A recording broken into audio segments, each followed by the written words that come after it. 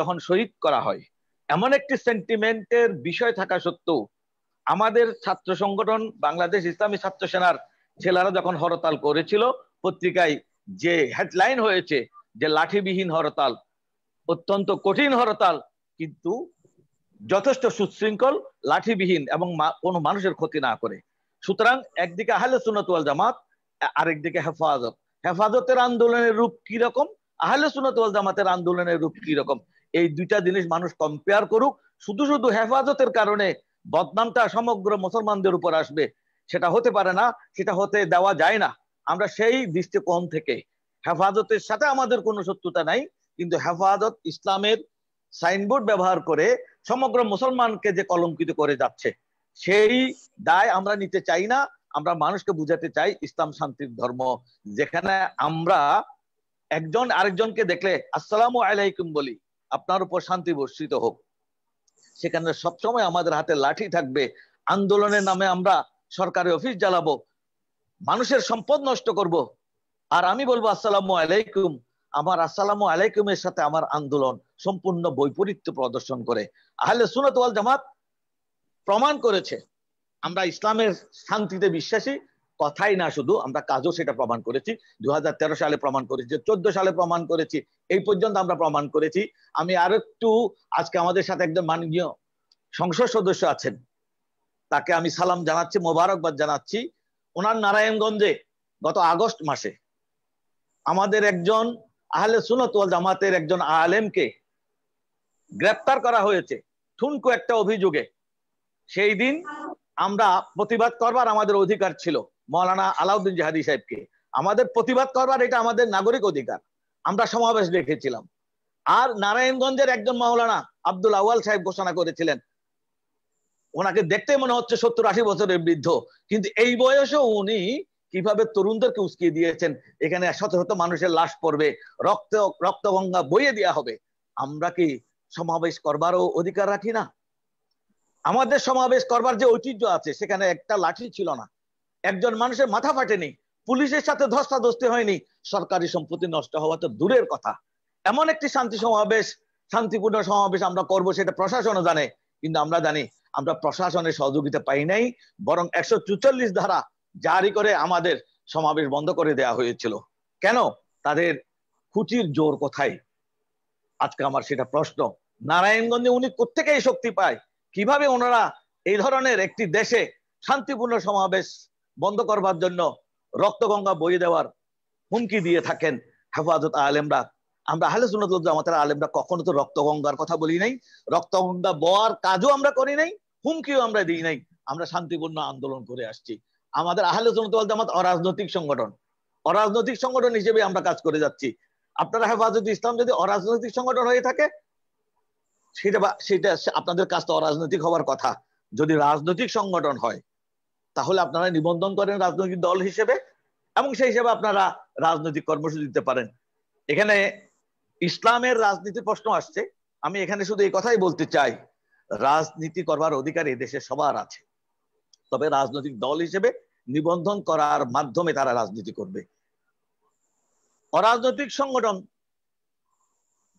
ক্ষমতা দখল করবার জন্য বেপরোয়া হয়ে যাবে, দেশের সম্পদ নষ্ট করবে। সেটা আসলে কখনো মেনে নেওয়া যায় না। কারণ মানুষের সাথে প্রতারণা করার কোনো প্রয়োজন নেই। আমার যে পরিচয় আমি সুস্পষ্ট দিতে পারি। রাজনৈতিক অনেক ইসলামী সংগঠন আছে। তো তাদের ব্যাপারে এই প্রশ্ন আসবে না। যদি তারা শান্তিপূর্ণভাবে আন্দোলন করে। সুতরাং শান্তিপূর্ণ আন্দোলন করুন। সেখানে আমাদের আন্দোলন নিয়ে কিছু বলার থাকবে না। হ্যাঁ আপনাদের সাথে আমাদের আকিদাগত কোনো বিরোধ থাকলে সেটা আমরা কোরআন হাদিস দিয়ে আপনাদের সাথে কথা বলব। আমরা চেষ্টা করব আপনাদেরকে বুঝিয়ে দিতে। আপনারা চেষ্টা করবেন আমাদেরকে বুঝিয়ে দিতে। এবং আমার সংগঠনকে কেন বন্ধ করতে চান? এই বিষয়ে বলেন। হেফাজতকে বন্ধ করার ব্যাপারে আমাদের আজকে পাঁচশো জনের বেশি আলেম যে বিবৃতি পাঁচশো একান্ন জন আলেমের যে বিবৃতি সেখানে বেশ কয়েকটি পয়েন্ট আসছে। একটি হচ্ছে তারা যে নৈরাজ্য সৃষ্টি করছে শুরু থেকে এই পর্যন্ত তাদের সমস্ত আন্দোলন দেশ বিরোধী আন্দোলন। কারণ দেশের সম্পদ নষ্ট করা তার মানে একজন মানুষের আচরণ দ্বারা বোঝা যায় কারা তাদের শত্রু। দেশের সম্পদের উপর আক্রমণ করলে বোঝা যায় তারা এই দেশটাকে যেন এই সম্পদগুলোর আক্রমণ করা তাদের উদ্দেশ্য কি? সুতরাং তারা দেশে নৈরাজ্য সৃষ্টি করছে, যে সংগঠন দেশে নরাজ্য সৃষ্টি করবে, তারা নিয়মতান্ত্রিক যারা আন্দোলন করবে না, ওই সমস্ত সংগঠনগুলো বন্ধ করে দেওয়ার দাবি জনগণ জানাতেই পারে। আহলে সুন্নত জামাত মনে করে তারা নিজেদের নাম দিয়েছে হেফাজত ইসলাম। তারা ইসলাম হেফাজত করবে, অথচ তাদের কারণে ইসলাম কলঙ্কিত হচ্ছে। সুতরাং তাদের কারণে ইসলামের বদনাম হচ্ছে বলে এবং দেশের ক্ষতি হচ্ছে। এমন একটি সংগঠনের, সংগঠনকে তাদের কার্যক্রম বন্ধ করার দাবি আহলে জানাচ্ছে। আরেকটি ব্যাপার হচ্ছে মমিনুল হক সাহেব যে কর্মকাণ্ড করেছে, সেটাকে নিচক মমিনুল হক সাহেবের ব্যক্তিগত কর্মকাণ্ড হিসেবে বললেই চলবে না। বলা যেত। আমিও ব্যক্তিগত আলোচনায় অনেকে, অনেককে বলেছি হ্যাঁ মমিনুল হক সাহেবের যেটা কর্মকাণ্ড, ওনার এটা ব্যক্তিগত চরিত্রের বিষয় হতে পারে। এটা দায় দায়িত্ব, সমগ্র হেফাজত নেওয়ার প্রয়োজন নেই। কিন্তু প্রশ্ন তখন আসবে। মমিনুল হক কি করেছে, না করেছে, সেটা আপনারা যাচাই বাছাই করবেন না।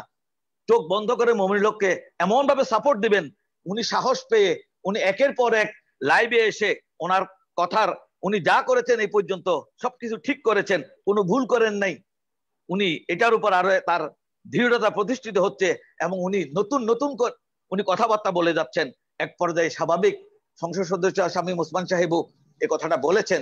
যে আমাদের তরুণদের উপর কি ধরনের প্রভাব পড়ছে? তাহলে তো মানুষ মনেই করতে পারে, আমি আমার স্ত্রীর অগোচরে একের পর এক বিয়ে করব, স্ত্রীকে জানাব না। স্বাভাবিকভাবে এটা আমাদের সামাজিক যে বন্ধন, সেখানে গিয়ে প্রভাব পড়বে। অবশ্যই মোমিন হকের কর্মকাণ্ডকে চোখ বন্ধ করে যেভাবে সমর্থন দিচ্ছে হেফাজত, এর কারণে কিন্তু আমাদের সামাজিক ভাবে এই বেধিটা আরও ছড়িয়ে পড়তে পারে। তার উপর একটা কথা আসছে, যেখানে আমাদের আহলে আমাদের আলেমরা মেনশন করেছেন ওনাদের বিবৃতিতে, সেটা হচ্ছে কন্ট্যাক্ট ম্যারিজ যদি কোনো মেয়ের সাথে আমার কন্ট্যাক্ট থাকে, কিন্তু আমি বৈধভাবে শরীয়সম্মতভাবে বিয়ে করিনি এবং দেশের আইনকেও আমি বিয়ের ক্ষেত্রে মানি নাই, শুধু কন্ট্যাক্ট আছে ওই মেয়ের সাথে আমার। এটা তো শত শত মেয়ের সাথে, শত শত পুরুষের সম্পর্ক থাকতে পারে। কন্ট্যাক্ট ম্যারিজ নামে কোনো ম্যারিজ কোনো বিয়ে, শুধু আমরা দুইজনের সম্পর্কে বিয়ে, আর কেউ জানলো না এই ধরনের বিয়ে তো শরীয় সম্মত নয়, এটাই আমাদের আলেমরা বলেছে। আর এটাকে জোর করে সমর্থন করা, এটার বিরুদ্ধে হেফাজতের কোনো বক্তব্য না আসা, স্বাভাবিকভাবে হেফাজত ওনাদের ব্যক্তিকে প্রাধান্য দিচ্ছে, আদর্শকে নয়। কোরআন সুন্নাকে প্রাধান্য দিতে হবে, ব্যক্তি নয়। ব্যক্তি যখন কোরআন সুন্নার বিরুদ্ধে চলে যাবে, সাথে সাথে আমাদের এক পায়ে দাঁড়িয়ে যেতে যেতে হবে, আমাদেরকে বলতে হবে, উনি আমাদের নেতা হলেও, যেহেতু ওনার কর্মকাণ্ড ইসলামের বদনাম ডেকে আনছে, সুতরাং আমরা ওনাকে আর গ্রহণ করতে পারলাম না। ওনার সাথে আমাদের আপাতত আর কোনো সম্পর্ক নেই। তবা করে ফিরে না আসা পর্যন্ত ওনাকে আমরা নেতা মানতে রাজি নেই। এই কথাটা কিন্তু হেফাজতের পক্ষ থেকে আসছে না। বরং ওনারা ডানে বামে এদিকে ওদিক গিয়ে ওনারা কোনো না কোনো ভাবে মমিনুল হকের পক্ষ নিয়ে তারা ইসলামেরই মূলত বদনাম ডেকে আনছে বলে আমি বিশ্বাস করি। আহলে সুনাত ওয়াল জামাত আমি আপনার কাছে আবার আসছি। এখানে আমাদের হেফাজত ইসলামের দুজন নেতা আছেন এখানে। আজকের আলোচনাতে। আমি ওনাদের কাছে একটু যেতে চাই।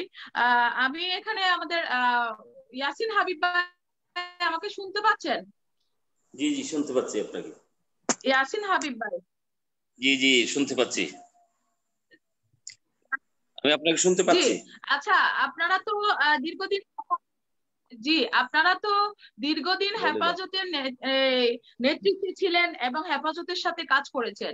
আপনারা কি মনে করছেন না যে হেফাজত ইসলাম তাদের মূল মূল যে আদর্শ নিয়ে ছিল সে আদর্শ বিচ্যুত হয়েছে এবং পরিচালিত করছে জামাত শিবির? এই বিষয়ে যদি একটু বলতেন। আসসালামু আলাইকুম রহমতুল্লাহ। সম্মানিত সঞ্চালক উপস্থিত আজকের আলোচক বৃন্দ এবং যারা আজকে লাইভ ভিডিও দেখছেন, সবাইকে অভিনন্দন। আসলে হেফাজত ইসলাম বাংলাদেশ এটার গঠিত হওয়ার পিছনে যে প্রেক্ষাপট, সেটা কম বেশি সবাই জানেন। বাংলাদেশের রাজনৈতিক পরিস্থিতিকে বিবেচনা করে নয়, বাংলাদেশে সামাজিক মূল্যবোধ, ইসলাম বিদ্বেষী একটি শক্তি, ইসলামকে বিভিন্নভাবে প্রশ্নবিদ্ধ করবার জন্য এবং ইসলামের নবী, কোরআন, ইসলামের আকিদা, বিশ্বাসকে প্রশ্নবিদ্ধ করে বিভিন্ন ধরনের স্পিচ যখন দেওয়া শুরু করছে, তখন সারা বাংলাদেশের ধর্মপ্রাণ মানুষ এই বিষয়টা নিয়ে খুবই উদ্বিগ্ন হয়ে পড়েছিল। যেভাবে নাস্তিক মোরতাদ একটি গোষ্ঠী, ধর্মবিদ্বেষী একটি গোষ্ঠী ইসলামকে টার্গেট করে বিভিন্ন বক্তব্য, বিবৃতি দেওয়া শুরু করছে। সেই পরিস্থিতিতে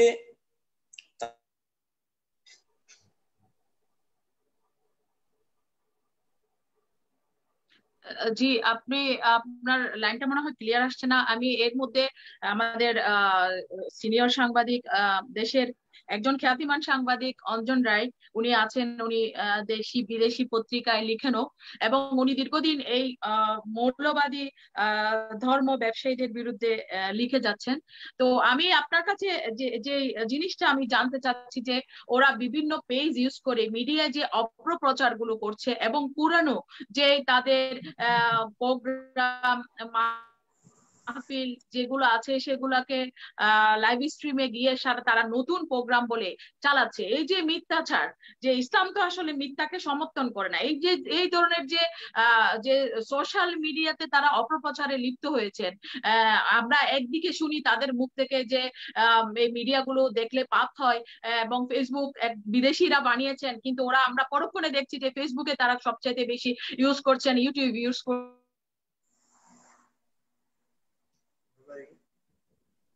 মাইনে সাউন্ড বন্ধ হয়ে জি। অঞ্জন রায় আমাকে শুনতে পাচ্ছেন? হ্যাঁ আমি শুনতে পাচ্ছি আপনাকে জি। হ্যাঁ ব্যাপারটি হচ্ছে প্রথমে সবাইকে আমার আমি শ্রদ্ধা এবং জানাই এখানে উপস্থিত যারা আছেন। আমাদের প্রিয় মুখ শামীম ভাই রয়েছেন সালাম শামীম ভাইকে জানাই আদাব জানাই। ব্যাপারটা হচ্ছে কি যেটি হেফাজতে একজন নেতা আমাদের সাথে আছেন, তার বক্তব্যটি অসমাপ্ত থাক- গেল, তার বক্তব্য পূর্ণ শুনে যদি কথা বলা শুরু করতে পারতাম, সেটি সুবিধা হতো। কারণ সরাসরি বাংলাদেশে ধর্মকে আক্রমণ করে কোনো বিবৃতি, উনি বক্তি, বলছে, বলছিলেন বক্তব্য এবং বিবৃতি, কোনো বিবৃতি, কোনো প্রতিষ্ঠান, সংগঠন দিয়েছেন বলে আমি জানি না, এখানে মাননীয় সংসদ সদস্য আছেন, তিনিও বোধহয় জানেন না। বা শোনেননি যে ধর্মকে আক্রমণ করে বাংলাদেশে বলবেন এমনটি নয়। বাংলাদেশের মানুষ ধর্মপ্রাণ, বাংলাদেশের মানুষ ধর্মকে হৃদয়ে আশ্রয় দেয়। আমি আমার কথা যদি বলি, ধরুন সেই শাহবাগ আন্দোলনের সময় থেকে বারংবার আক্রান্ত হতে হয়েছে, বারংবার নানা ধরনের বিতর্ক তৈরি করার চেষ্টা চলেছে। আমার মেয়ের সঙ্গে আমার ছবি দিয়ে অশালীন প্রচারণা ফেসবুকে চলেছে। আপনি যেটি বলছিলেন, বর্তমানে আমরা দেখতে পেলাম যে মামুনুল হক গ্রেফতার হওয়ার পর মানে বেশ কয়েক বছরের ছবি, আগের ছবিগুলোকে যখন লাইভ স্ট্রিমে ছাড়া হলো এবং এক ধরনের উত্তেজনা সৃষ্টি করার চেষ্টা হলো এবং যদি খুব মানে মনোযোগী হয়ে আমরা দেখি, আমরা কিন্তু দেখতেই পাই যে এক ধরনের অসত্যকে সামনে আনার চেষ্টা। যা, তাহলে যারা অসত্যকে বারংবার সামনে আনছেন, তাদের কাছ থেকে আমরা কি আশা করব? দ্বিতীয় কথা আমি যেতে চাই একদম সুনির্দিষ্ট কেস স্টাডিতে ব্রাহ্মণবাড়িয়া। আলাউদ্দিন খান সাহেব, যার নামের আগে উচ্চারণ করায় করেন, যারা সঙ্গীতের মানে বিশিষ্ট জনেরা, রশিদ খান থেকে শুরু করে যারা আছেন, তারা বাবা আলাউদ্দিন খান বলে এক হাতে কানটি ধরেন সে বাবা আলাউদ্দিন খানের উপর এত ক্রোধ কেন এখানে? তিন দফা আমরা যদি হিসাব করি ব্রাহ্মণ বাড়িয়াতে আলাউদ্দিন খান যে স্মৃতি, সেই স্মৃতির উপরে হামলা করা হয়েছে। আমরা যদি দেখি ভূমি অফিস, ভূমি অফিসের যে দলিল আছে, দলিলের তো কোনো ধর্ম নেই। তা দলিলের উপর আমরা বা দলিল তো রাষ্ট্র নয়, দলিল সরকারও নয়, দলিল প্রধানমন্ত্রীও নয়, দলিল মাননীয় সংসদ সদস্য স্বামী ওসমানও নয়। দলিল হচ্ছে সাধারণ মানুষের জন্য যে জমি জিরেতগুলো রয়েছে তার কাগজপত্রের প্রমাণ। সেই দলিলগুলো পুরো কতখানি উপকার হলো? আমরা তো এই দেশটাকে ভালোবাসি। ট্রেন ট্রেন ট্রেন লাইনে বা ট্রেন স্টেশনে হামলা করে আগুন দিয়ে কার লাভ হলো? রাস্তা বন্ধ করে দেয়াল তোলা হচ্ছে। এই অরাজকতা করে কোন লাভটা হলো? দ্বিতীয় কথা হচ্ছে যে, ধরুন অন্যান্য সংগঠনও কিন্তু শুধু যে হেফাজতে ইসলামী প্রোগ্রাম করেছে তা নয়, বা এর বাইরেও কিন্তু অন্যান্য সংগঠন যারা মুক্তিযুদ্ধ করেছে এমন সংগঠনেরও কিন্তু দু একটি তাদের ছাত্র সংগঠনেরও প্রোগ্রাম ছিল। কিন্তু আমরা প্রত্যেককে দেখেছি চব্বিশ তারিখের পর পঁচিশ তারিখ থেকে তারা কিন্তু স্বাধীনতার পঞ্চাশ বছরের যে অনুষ্ঠান আদিতে ব্যস্ত হয়ে পড়েছেন কিন্তু আমরা ব্যতিক্রম দেখলাম হেফাজত, কিন্তু স্বাধীনতার পঞ্চাশ বছরের অনুষ্ঠানের চাইতেও তারা ব্যস্ত হয়ে থাকলেন হচ্ছে বিভিন্ন অরাজকতা নিয়ে। এবং যে অরাজকতার মধ্যে দিয়ে যে বিষয়টিকে আমি খুব পরিষ্কার করে বলতে চাই যে এটি এক ধরনের রাষ্ট্রের বিরুদ্ধে যুদ্ধের প্রবণতা ছিল। এবং রাষ্ট্র এত ঠুনকো ব্যাপার নয়। আর কেউ যখন রাষ্ট্রের বিরুদ্ধে যুদ্ধ করবে, রাষ্ট্র তখন ললিপপ হাতে বসে থাকবে না। রাষ্ট্র রাষ্ট্রের পদক্ষেপটি নিয়েছে এবং নেওয়াটি জরুরি। আমরা যদি দেখি খেয়াল করে বিভিন্ন ফোন কনভার্সন বিভিন্ন যে ডকুমেন্টগুলো সামনে আসছে সংবাদকর্মী হিসেবে আমরাও পাচ্ছি দুইয়ের সাথে দুই মিলালে কিন্তু চার হয়। একদম আমরা জানি। এবং দুইয়ের সাথে দুই কিন্তু মিলছে। আমরা ব্যাংককের একটি আলোচনার কথা শুনছি বা বিভিন্ন জায়গাগুলোতে আমরা দেখছি। সুতরাং এখন আরেকটি প্রসঙ্গে আমি যেতে চাই যে তা হেফাজতে ইসলামের প্রথম থেকেই তাদের দাবি তারা অরাজনৈতিক একটি সংগঠন। খুব ভালো কথা। অরাজনৈতিক সংগঠন। কিন্তু তারা কখন মাঠে নামেন? যখন যুদ্ধাপরাধীদের বিচারের দাবিতে উত্তাল হয় বাংলাদেশ। তারা কখন মাঠে নামেন? যখন স্বাধীনতার পঞ্চাশ বছর উদযাপনের জন্য বাংলাদেশ এক ধরনের অন্য অনুভূতিতে থাকে। সেই সময় তারা মাঠে নামেন। ভারতের প্রধানমন্ত্রী এসেছেন। যদি নরেন্দ্র মোদীর জায়গায় মমতা ব্যানার্জি ভারতের প্রধানমন্ত্রী হতেন বা বুদ্ধদেব ভট্টাচার্য ভারতের প্রধানমন্ত্রী হতেন বা যেই হতেন, তিনি আসতেন। বাংলাদেশের মুক্তিযুদ্ধে রক্তের যে বন্ধন রয়েছে ভারতের সাথে, সেই জায়গা থেকে যদি আমরা হিসাব করি, ভারতের প্রধানমন্ত্রী যিনি থাকুন, তিনি বাংলাদেশের স্বাধীনতার পঞ্চাশ বছরের অনুষ্ঠানে আসবেন। সেই ক্ষেত্রে সেই চেয়ারটিতে নরেন্দ্র মোদী আছেন, তিনি এসেছেন। কিন্তু আমরা যদি হেফাজতের প্রতিবাদ কর্মসূচিগুলোর দিকে তাকাই, নরেন্দ্র মোদীর ছবির বদলে কি কারণে তাদের বঙ্গবন্ধুর মুরালে হামলা করতে হয়? অন্তর্জালাটি কিন্তু টের পাওয়া যায় যে জ্বলছে কোনখানে তাদের। তাদের প্রতিপক্ষ কারা? এটি কিন্তু খুব পরিষ্কার বোঝা যায়।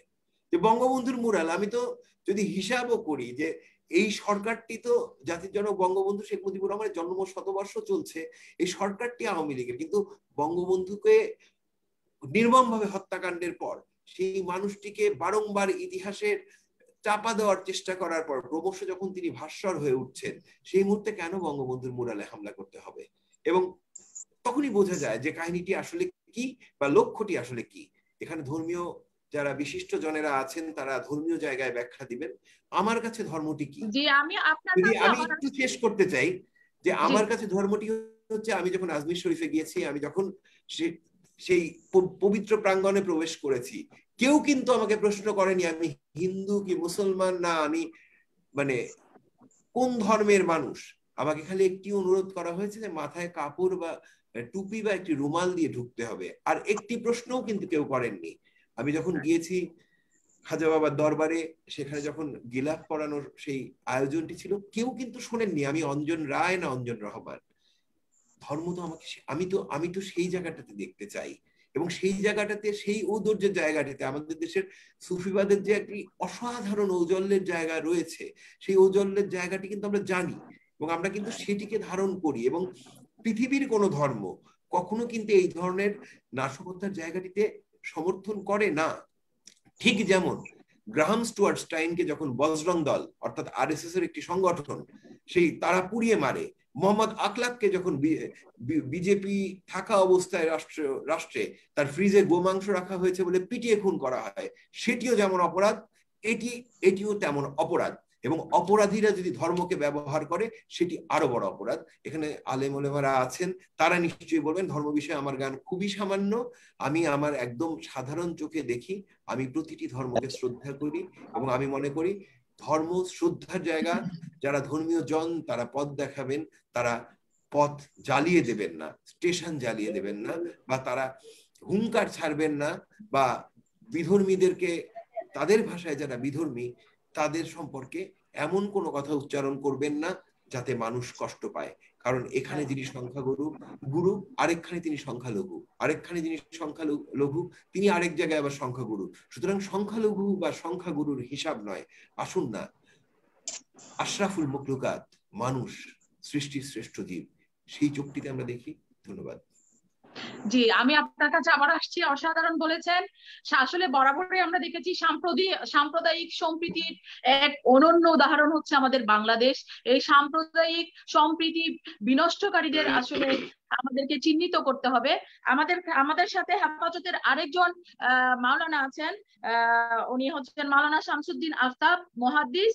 আমি ওনার কাছে জানতে চাই, আল্লামা আহমদ শাহ শফি, যিনি দীর্ঘদিন ধরে কৌমিদের আন্দোলন কৌমিদের অধিকার সংরক্ষণ করার জন্য, আদায়ের জন্য উনি আজীবন সংগ্রাম করে গেছেন। এই যে শেষ অবস্থায় আহমদ শফিকে খুব নির্মম ভাবে মৃত্যুবরণ করতে হয়েছে এবং আমরা অভিযোগ করতে দেখেছি যে তার অক্সিজেন মাস্ক খুলে ফেলা হয়েছে এবং তাকে বড় রড দেখিয়ে তার থেকে জোরপূর্বক যে মোহতামিমের পটটি ছিনিয়ে নেওয়া হয়েছে এবং পরবর্তীতে আমার ছবি যে লাইভ করেছেন, ওখানেও এটার আভাস পাওয়া গেছে যে উনি কাউকে মোহতামিম বুঝিয়ে দেননি।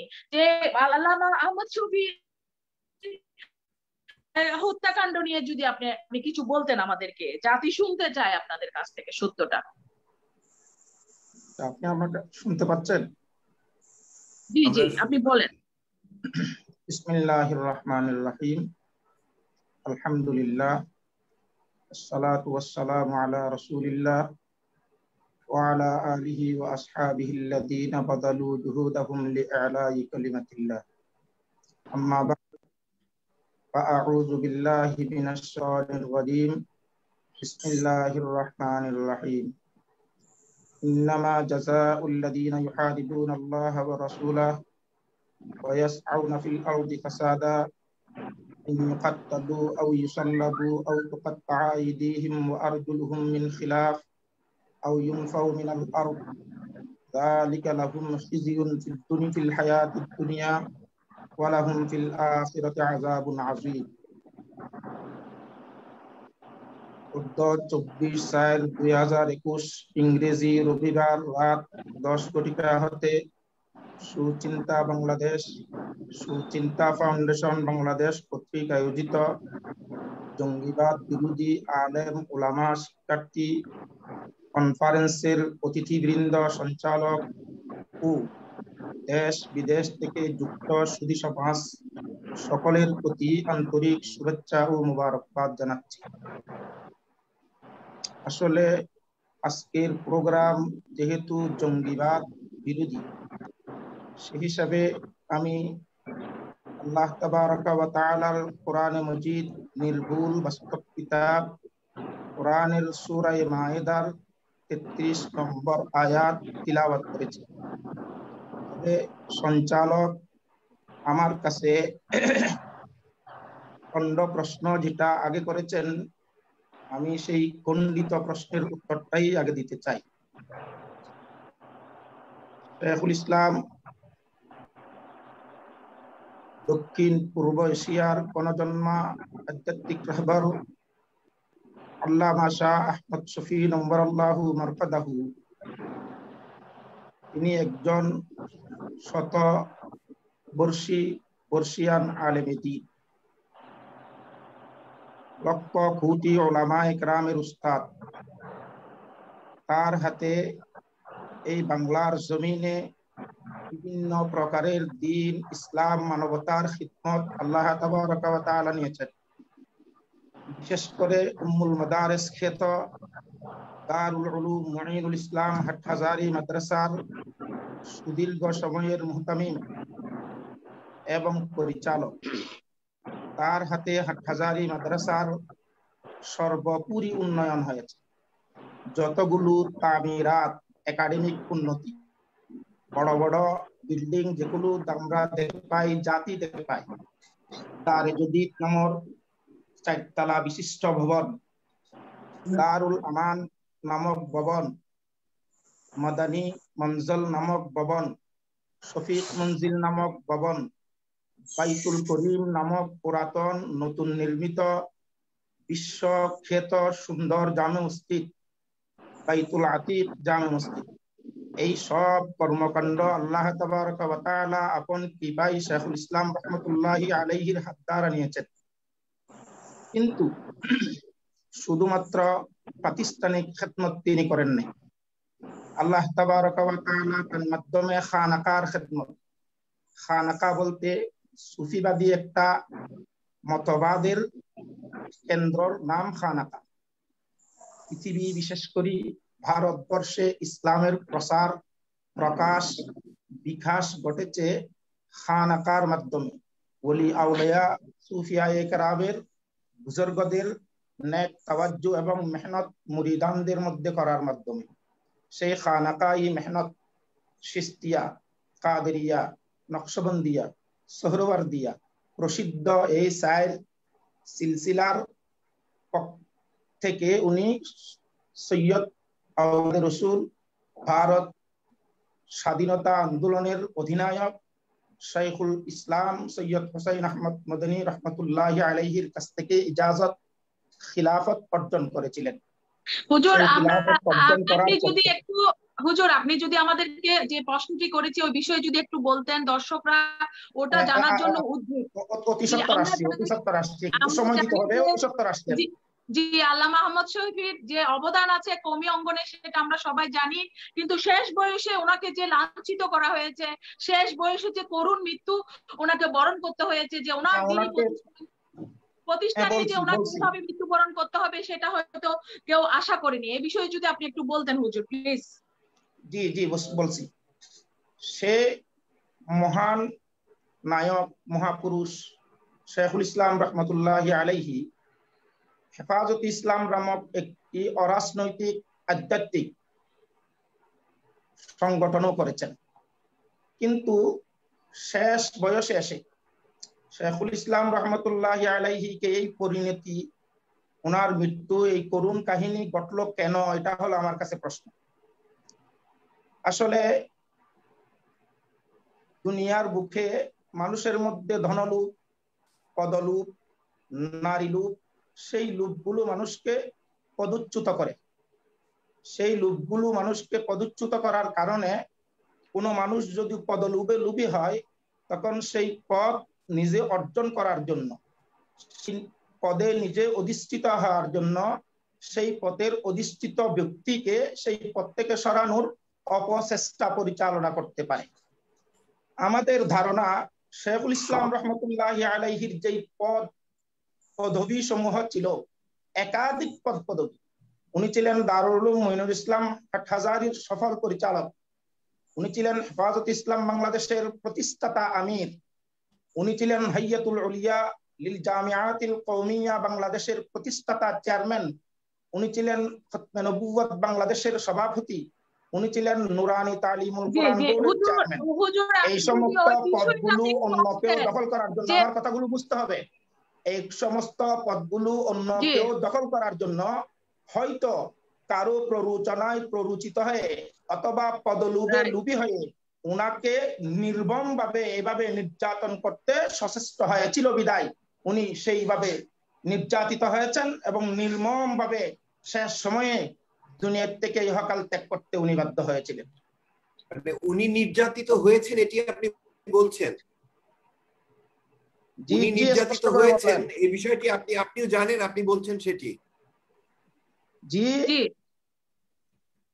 জি আপনি স্পষ্ট বলেন স্পষ্ট বলেন। আমি বলছি যে উনি যে নির্যাতিত হয়েছেন এটি আপনি আপনি জ্ঞাত আছেন আপনার বক্তব্যে এমনটি মনে হচ্ছে। না এই পর্যন্ত আমি নয় বাংলাদেশের সোশ্যাল মিডিয়া এবং প্রিন্টিং মিডিয়া এবং যাবতীয় প্রচার মাধ্যমের দ্বারা বাংলাদেশে আমি নয় আপমর জনগণ জানে শেখুল ইসলাম আল্লাহ শামস শফি রহমতুল্লাহ আলাই নির্যাতনের শিকার হয়েছিলেন। ধন্যবাদ শুধু আমি কেন জানব সেটা আপনিও জানেন। জি ধন্যবাদ। এইটি স্পষ্ট জানতে চাইছিলাম মার্জনগরদের আমরা কথার মাঝখানে আপনাকে বিরক্ত করার জন্য। উনি উনি কওমিদের এই যে কওমিদের সনদ থেকে শুরু করে কওমিদেরকে প্রতিষ্ঠা করার জন্য উনি আজীবন সংগ্রাম করে গেছেন এবং শেষ বয়স শেষে উনি আপনি যেটা বলছেন যে উনি লাঞ্ছনার শিকার হয়েছেন সেটা আপনি যেমন জানেন আপনি যেমন ফিল করেন এটা সবাই ফিল করে। জি আমি আপনাদের কাছে আবার আসতেছি। আমি একটু শামীম ওসমান ভাইয়ের কাছে যেতে চাই। আমরা আসলে এই যে এই যে আমরা যে তরুণ প্রজন্ম তরুণ প্রজন্ম স্বাধীনতার পঞ্চাশ বছর পরে এসেও যে ধর্মান্ধ ধর্মান্ধ ধর্ম ব্যবসায়ীদের যে যে কালো থাবা আমাদেরকে কালো থাবার মুখ আমাদেরকে পড়তে হচ্ছে এবং প্রতিনিয়ত এই অশুভ শক্তির বিরুদ্ধে যুদ্ধ করে আমাদেরকে সত্য প্রতিষ্ঠার জন্য কাজ করে যেতে হচ্ছে এবং আমরা যে জিনিসটা, যে এই তরুণ প্রজন্মের কাছে প্রশ্নবিদ্ধ হয়, যে কথায় কথায়, যে ইসলামটাকে ঢাল হিসেবে ব্যবহার করে যে তরুণ প্রজন্মকে এবং আমাদের যে মাদ্রাসার কোমলমতি ছাত্রছাত্রীরা আছে, তাদেরকে যে ধোঁকা দেওয়ার যে অপঘৃণ্য প্রচেষ্টা, এখানে কি শিক্ষা পদ্ধতির কি ভুল আছে? বা আমরা কি এই যে সরকারের কি, এই এই জায়গায় কি দায়িত্ব বর্তায় না যে একই সিলেবাসের অন্তর্ভুক্ত করে যে অভিন্ন শিক্ষা পদ্ধতি আমাদের ইসলাম শিক্ষার পাশাপাশি যে অভিন্ন শিক্ষা পদ্ধতি, যে মেন স্ট্রিমের যে শিক্ষাটা আছে সেটা দিলে যে মাদ্রাসার কোমলমতি ছাত্রছাত্রীরা আছে, তারা হতাশা থেকে বের হয়ে এসে যে তারা, যে কর্মমুখী যে শিক্ষা সেটা শিক্ষিত হলে আমরা এই এই যে সমস্যা আমরা ফেস করছি সেটা থেকে আমরা উত্তরণ ঘটাতে পারব। শাহ ভাই যদি বলেন। জি আপনার কথা আমি বুঝতে পেরেছি কিন্তু আমি মনে হয় না যে আপনার যেটা আপনি বলেছেন সেটা করলে যে উত্তরণ করতে পারবে। দেখেন আমি একটা সোজা কথা বলি যে আল্লাহ রাবুল আলমিন আল্লাহ সোহানাত আল্লাহ আল্লাহ গফর রহিম। আদম আল ইসলামকে এবং মাহাওয়াকে সৃষ্টি করার আগে কিন্তু ইবলিশকে সৃষ্টি করেছিলেন। এবং ইবলিশ ছাড়া সবাই আল্লাহর হুকুমে আদম আল ইসলাম এবং মাহা ইসলামকে সেজদা করেছিল। দুনিয়ার সৃষ্টির ইতিহাসটা আপনি দেখেন। হ্যাঁ? তো সৃষ্টিটা যদি এইভাবে হয়, আপনি যত কিছুই করেন না কেন ইবলিশের তো একটা দল থাকবেই। ইবলিশের যদি একটা দল না থাকে, আমি কিন্তু হেফাজত ইসলাম কিংবা জামাত ইসলাম কিংবা অন্য ইসলাম, আমি আমার দল করি, আওয়ামী লীগ করি। এবং আমি আমার দেখা মতে, আমি আমার দেখা মতে, আমি বহু আল্লাহওয়ালা ফকির, মিসকিন অলিয়া অলিয়া সব চিনি। একজন মানুষের কাছে আমার মা বাবার পরে যদি আমি কারোর কাছে ঋণী থাকি, যে ধর্মকে চিনতে এবং জানতে, সেটা হচ্ছে যে সেই মানুষটি হচ্ছেন আমার জাতির পিতার কন্যা শেখ হাসিনা। এবং এটা আমি আওয়ামী লীগ করে দেখে বলছি না, আল্লাহকে সাক্ষী রেখে বলতে চাচ্ছি। আমি এই যে এখানে দেখাচ্ছি, হুজুরে দেখেন, এই যে এখানে কোন বাংলাদেশের কোন প্রধানমন্ত্রী আছেন যে তাদের প্রত্যেকটা সংসদ সদস্য যারা মুসলমান হ্যাঁ তাদেরকে উনি এই সহজ কোরআনটা দিয়েছেন, বিভিন্ন ফজিলতের দোয়া টোয়া সহ। আমি প্রতিদিন দুই বেলা পড়ি এটা শেখার জন্য, ঠিক আছে? এবং আমি দেখেছি ওনাকে যেহেতু চল্লিশটা বছর ধরে ওনার সাথে আছি, বিপদ আপদ, গুলি গেছে মাথার উপর দিয়ে, বোমা হামলা হয়েছে সবকিছুর মধ্যে একটা কথা শিখিয়েছেন যে আল্লাহর উপর বিশ্বাস রাখো, আল্লাহর উপর ভরসা রাখো। এবং এই জন্য হয়তো আল্লাহ ওনাকে একুশ বাঁচিয়েছেন। যে সাবজেক্ট যেটা হচ্ছে, আপনি যত কিছুই বলেন না কেন, মৌলানা শফি সাহেবের সাথে যেটা করা হয়েছে হ্যাঁ আমি ওনাকে ব্যক্তিগতভাবে শ্রদ্ধা করতাম এবং আমি এখনও বিশ্বাস করি যে উনি একজন প্রকৃত আলেম মানুষ ছিলেন। হম? কারণ হেফাজতের যে ঢাকায় তেরো তারিখে যে ঘটনা দুই হাজার যে সম্ভবত তেরোতে যে পাঁচই মেতে ঘটনা সেদিন কিন্তু ওনাকে আটকে দেওয়া হয়েছিল লালবাগে। ওনাকে আটকে রাখা হয়েছিল এবং রীতিমতো উনি এদের হাতে অ্যারেস্ট ছিলেন যে এখন যারা নেতৃত্বে আছে। ঠিক আছে? তারপরেই ওইখানে কিন্তু মানে এই ধরনের ঘটনা ঘটায় এবং সেই রাত্রেই কিন্তু সচিবালয়ে হামলা করার কথা প্ল্যান করার কথা। আমি কিন্তু বেশ কয়েকদিন ধরে, গত আট মাস ধরে কিন্তু একটা কথা বারবার বলে যাচ্ছি টেলিভিশনে আপনি যেটা দেখছেন ধর্ম নিয়ে রাজনীতি ধর্ম নিয়ে রাজনীতি না। এটা সরকার পতনের খেলা না। এই খেলাটা হচ্ছে, এটা একটা গ্লোবাল পলিটিক্স হচ্ছে বাংলাদেশকে নিয়ে। বাংলাদেশ একটা গ্লোবাল জায়গা। বাংলাদেশকে নিয়েও খেলাটা হচ্ছে না কিন্তু। এটার আশপাশে অনেক মহাশক্তি বড় শক্তিধর দেশগুলি আছেন। সো এইখানটাকে এমন ভাবে তৈরি করার চেষ্টা করা হচ্ছে যে এটা যাতে একটা ব্যর্থ রাষ্ট্রে পরিণত হয়। ব্যর্থ রাষ্ট্র বলতে আপনি কি বুঝাচ্ছেন? যেমন আফগানিস্তান, এটা ব্যর্থ রাষ্ট্র হয়ে গেছে এখন, তাই না? আজকে সিরিয়া, ইরাক, কারা বানিয়েছে এগুলিকে? আজকে যে আইএস, কাদের সৃষ্টি এটা? এই রকম ভাবে বাংলাদেশটাকেও একটা এই ধরনের মডেল তৈরি করে সরকার পরিবর্তনের না, এমন একটা জায়গায় নিয়ে যাওয়ার জন্য চেষ্টা করা হয়েছে এবং এখনও হচ্ছে এবং সেটা সামনে আরও গভীরভাবে হবে। এবং এই জন্য বিদেশে ব্যাংককে এবং কাঠমান্ডুতে মিটিংও হয়েছিল। ওই মিটিং তো আমরা জানতে পেরেছি। ওখানে হেফাজতের নেতাও ছিল, খেলাফতের নেতাও ছিল। এর মূল লিডারশিপই হচ্ছে বিএনপি এবং জামাত। আমি জামাতের একটা জিনিস একটু পড়ে শোনাচ্ছি। পড়ে শুনতেও আমার, আমি অবাক। এই একটু আগে আপনার সাথে টকশো করার কারণেই বোধহয় একজন জার্নালিস্ট আমাকে পাঠিয়েছেন। থিং ইজ দ্যাট যে আপনি মনে করেন না যে এখানে শেষ হয়ে গেছে। জাস্ট শুরু হলো মাত্র। জাস্ট শুরু। এবং ওদের টার্গেট একটাই। এরা বিভিন্ন মুখোশ ধরে থাকবে। এরা আওয়ামী লীগের ভিতরে ঢুকবে এটা বিএনপি ভিতরে ঢুকবে এটা বিএনপি দ্বারা পরিচিত। আমাদের ভিতরে যে নাই তা না কিন্তু, আমাদের ভিতরে ঢুকে গেছে। সব জায়গায় থাকবে এবং ঠিক সময় মতো এরা এসে ছবল মারবে। যারা এই যে যেটা হেফাজতের একজন নেতা যেটা বললেন, যে আল্লামা শফি সাহেব, আমি ব্যক্তিগতভাবে তাকে সম্মান করি। আমি অত্যন্ত সম্মান করি। তাকে যেভাবে বেইজ্জত করতে পেরেছে, তো তারা যার নেতা যে তাদেরকে সৃষ্টি করল, তাকে যদি বেইজ্জত করতে পারে, তাহলে তাদের দ্বারা আপনি কি আশা করেন? বাদ দেন, আমি সেটাকেও বাদ দিলাম। আমার কাছে অবাক লেগেছে, এখানে অনেক বড় বড় আলেম ব্যক্তিগণ আছেন।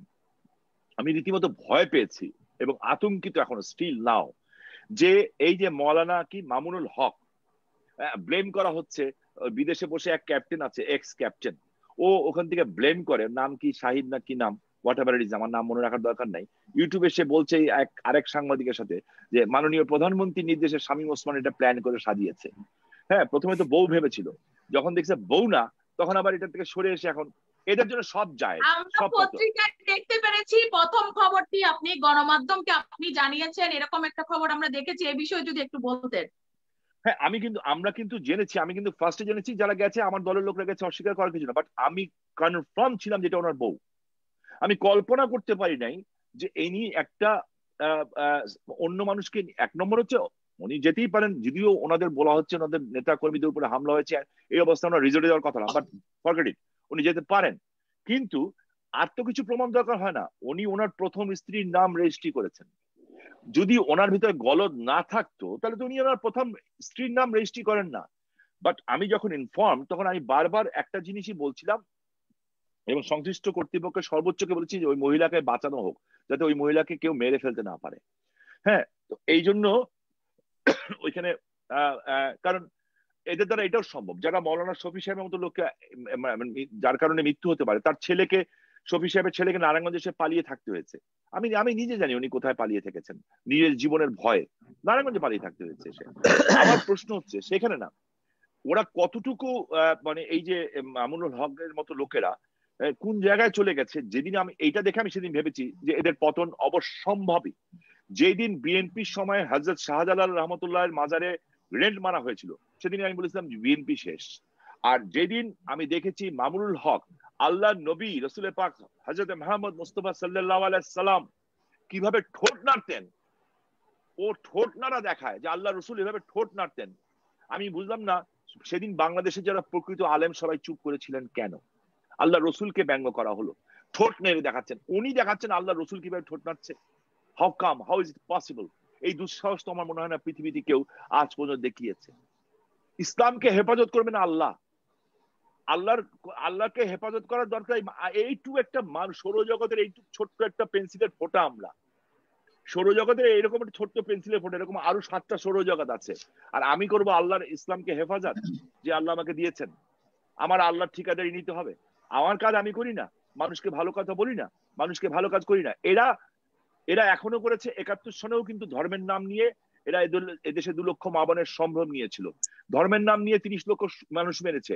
আফগানিস্তানে কয়দিন আগে দেখলাম মসজিদে ব্রাশ ফায়ার করে একসাথে আট ভাই নামাজ পড়ছিল, আট ভাইকে গুলি করে হত্যা করা হয়েছে। আমি আমি কথা বেশিক্ষণ বাড়াবো না, আমি আমি হয়তো সংক্ষিপ্ত করব। অঞ্জন দা এখানে আছেন এবং আমার হুজুররা আছেন। আমি আপনাদের উদ্দেশ্যে বলতে চাই, আমাকে একটু আগে একজন খুব নাম করা সাংবাদিক পাঠালেন। শুনে অবাক হবেন। এটা জামাত ইসলামের এই যে জামাত ইসলামের একদম প্যাডে হম, জামাত ইসলামের প্যাডে লেখা, দেখেন। কি লিখেছে? প্রিয় ভাই, আসসালাম আলাইকুম রহমতুল্লাহ। দেখেছেন কে? Doctor Shafiqur Rahman secretary general Bangladesh Jamaat Islam. আমি জানি, ওরা আমাকে আবার মারার চেষ্টা করবে। ষোলোই জুন দুই হাজার একে যেমন বোম ব্লাস্ট করেছিল, আমি জানছি যে ইদানিং আমাকে আবারও চেষ্টা করছে। এরা মনে করছে এই ঘটনাগুলির সাথে আমরা ইনভলভ বাট আল্লাহ ছাড়া কেউ কি আমরা ভয় করিও না? আর মুসলমান একবারই মরে, দুইবার মরে না। ঠিক আছে? আশা করি আল্লাহ তালা একটু খেয়াল করে শুনবেন হুজুররা। অঞ্জন দাও শুনবেন ইজ ভেরি ইন্টারেস্টিং আশা করি আল্লাহ তালার অশেষ মেহরবানিতে ভালো আছেন। একটি গুরুত্বপূর্ণ বিষয়ে আপনাদের দৃষ্টি আকর্ষণ করছি। তা হলো দেশে ধর্ষণ বলৎকারের ধারাবাহিকতায় সংগঠনের জনশক্তির আচরণ ও সংযমের ব্যাপারে সুরা মজলিসের পর্যবেক্ষণ সুপারিশের ভিত্তিতে দেশের সার্বিক পরিস্থিতি বিবেচনা করে দেওয়া প্রস্তাব বিগত পাঁচ, দশ, বিশ, দুই হাজার বিশ তারিখে কেন্দ্রীয় নির্বাহী পরিষদের বৈঠকে বিস্তারিত আলোচনা হয়। আলোচনার পরে কেন্দ্রীয় নির্বাহী পরিষদ নিম্নোক্ত সিদ্ধান্ত গ্রহণ করেন। সিদ্ধান্তগুলি শুনেন, বোন, আপনি কিছু মনে করবেন না? বিষয়টাকে খারাপ ভাবে নেবেন আমার লজ্জা লাগছে আপনার সামনে বলতে। সম্প্রতি সারা দেশে ধর্ষণ ও বলৎকার নিয়ে ব্যাপক আলোচনা সমালোচনা চলছে। একটি দেশের ইশারায় পরিচালিত দেশের দালাল মিডিয়া জামাত ইসলামী ও তার অঙ্গ সংগঠন নেতাকর্মীদের জন্য ওত পেতে বসে আছে। অতএব সকলের সংযম, একান্ত কাম্য। আগামী বিশ দশ দুই পর্যন্ত জামাত ইসলামের ইসলামী ছাত্র শিবির ও ওলামা জনশক্তির কেউ যেন ধর্ষণ বা বলৎকারে জড়িত না হয়। এই মর্মে আদেশ প্রদান করা হলো।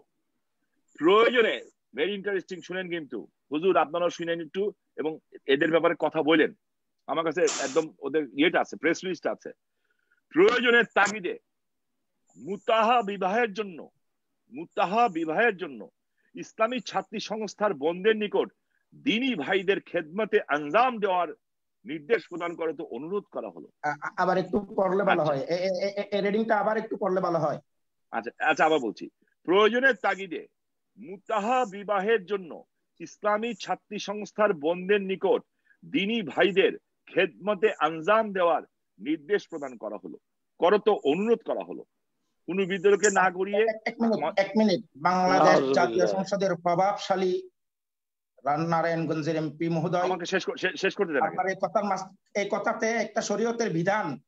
এই এই- এই এই এই এই মতটা হলো শিয়া মতবাদ। আমি আমি আমি আমি আমি আমি কোনো মতবাদে বিশ্বাস করি না আমি এক মতবাদে বিশ্বাস করি লা ইলাহা ইল্লাল্লাহ মুহাম্মাদুর রাসূলুল্লাহ সাল্লাল্লাহু আলাইহি ওয়াসাল্লাম। এর বেশি আমি মতবাদ না। একটু একটু উনি শেষ করে দেন। ইসলামে এই ধরনের বিয়ের কোনো সুযোগ নাই। আরে জামাত ইসলাম আবার ইসলাম জামাত ইসলাম আবার ইসলাম করল কবে? নাহা রাসূলুল্লাহ জামাত ইসলাম নাকি সাল্লাল্লাহু আলাইহি ওয়াসাল্লাম আল মুতা ইয়াউমাল খাইবারা। হুজুর আমাকে শেষ করতে দেন নাহলে আপনি সেটা বুঝতে পারবেন বলেন। হ্যাঁ। জি বলেন। আচ্ছা কোন বিতর্কে না গড়িয়ে আমাদের জনশক্তিকে হেফাজতের কার্যকরী উদ্যোগ গ্রহণ করা করা করা হোক। আল্লাহ রাবুল আলামিন আমাদের সকলকে যথাযথ দায়িত্ব পালনের তৌফিক দান করুন। আমিন।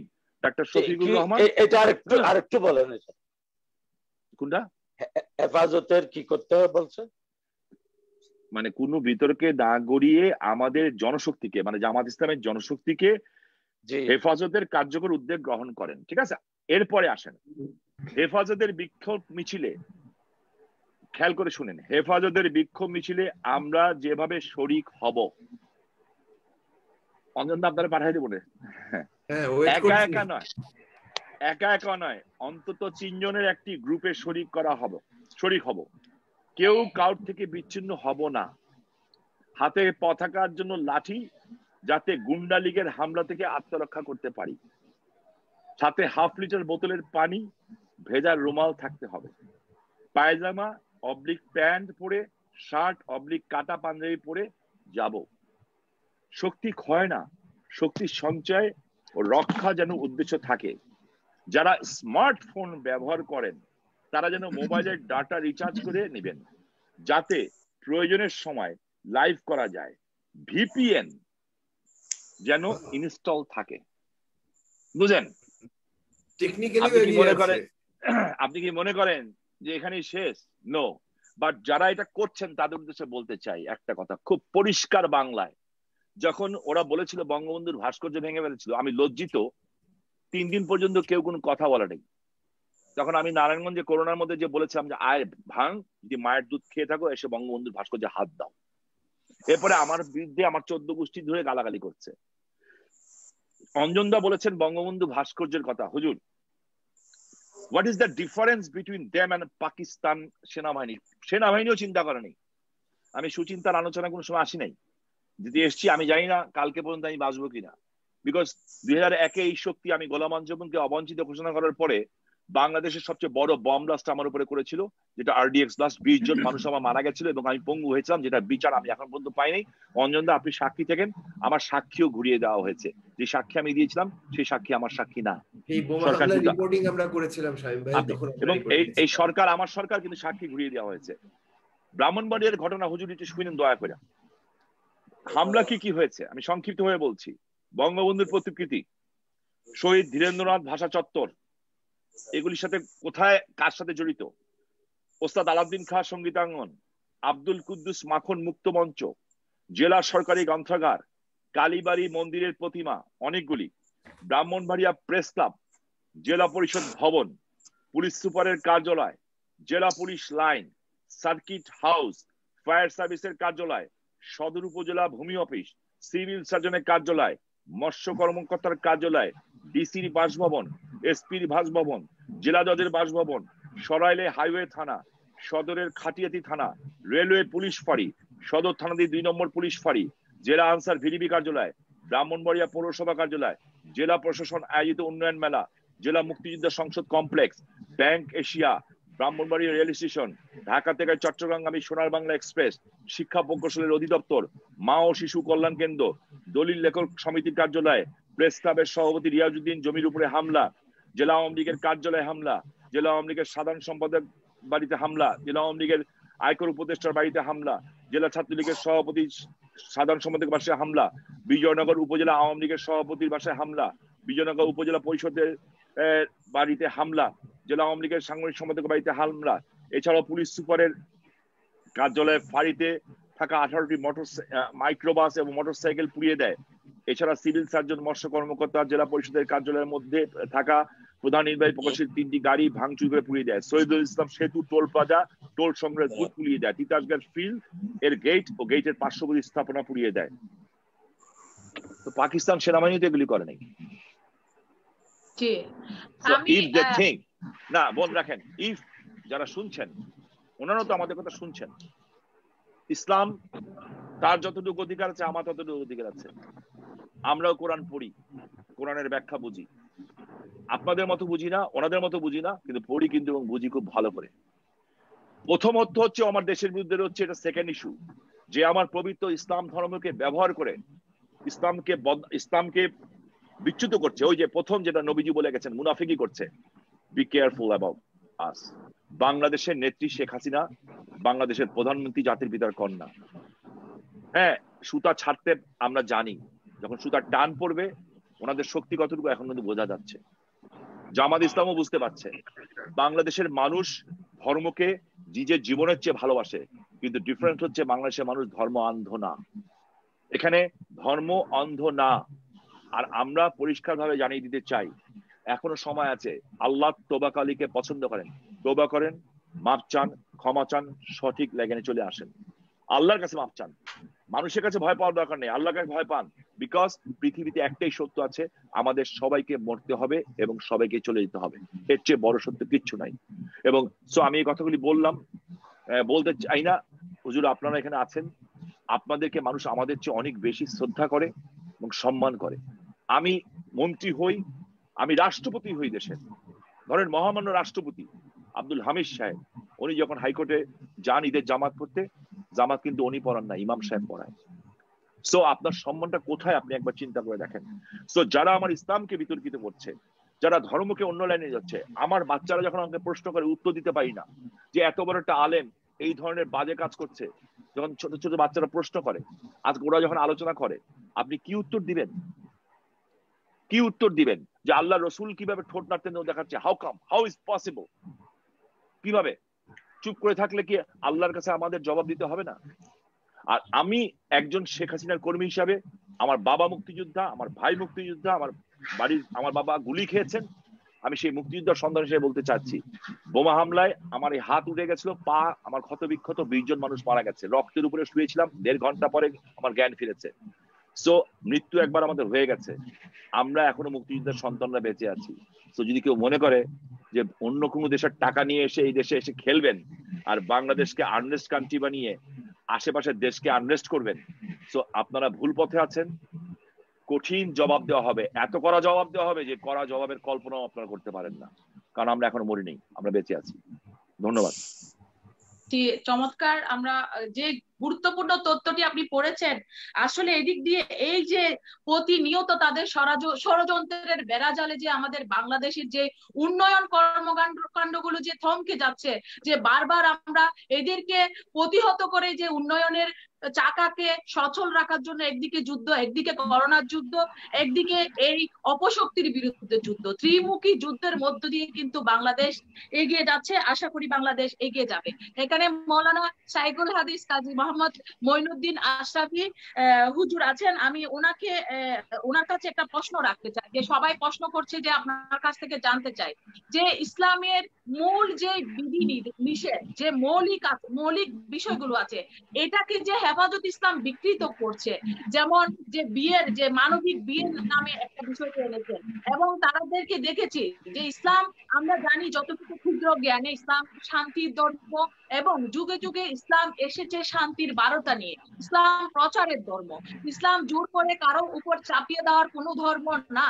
তাই আমরা দেখেছি তাদের যে ওয়াজ মাহফিলের নামে যেই ধরনের উগ্রবাদিতা যে ধরনের রাজনীতি তারা করে যাচ্ছেন, যে রাজনৈতিক বক্তৃতাগুলো তারা বিভিন্ন সমাবেশে দিয়ে যান। বিশেষ করে আমরা দেখেছি যে যে আমাদের পবিত্র মাজার গুলোকে গুড়িয়ে দেওয়ার হুমকি দেওয়া হয়েছিল এবং যে সুফিবাদে যারা বিশ্বাসী, তাদেরকে বারবার হত্যার হুমকি তারা দিয়ে আসছে বিভিন্ন যে ইসলামের যখন মূল বিষয়গুলোতে কোনো ধর্মের নেবাসদারীরা আক্রমণ করে, তা সেই ক্ষেত্রে আপনারা যারা ইসলামের প্রকৃত আলেমগণ আছেন যারা হাক্কানি মৌলবীগণ আছেন তাদের কি দায়িত্ব আছে? যে এই ধরনের প্রপাগন্ডা থেকে অনইসলামিক থেকে ইসলামকে রক্ষা করার জন্য হাক্কানি ইমামদের যে ভূমিকা সেটা যদি আপনি একটু বলেন সবাইকে।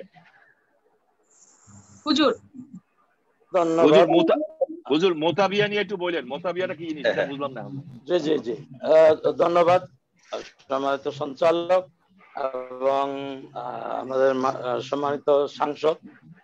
আজকের আলোচক বৃন্দ আমরা আজকে যে আলোচনাগুলো শুনলাম, এখানে হেফাজতের আমির সাহেবের যে জীবন সায়নে উনি যেভাবে ওনার আপনজনদের মাধ্যমে নির্যাতিত হলেন, অসম্মানিত হলেন, এবং এখানে যে পদ পদবীর লোক হেফাজত সংশ্লিষ্টদের যে পদ পদবীর লোক এসেছে এই কথাটা কিন্তু আজকের আলোচকদের বক্তব্য থেকে আমরা বুঝতে পারলাম।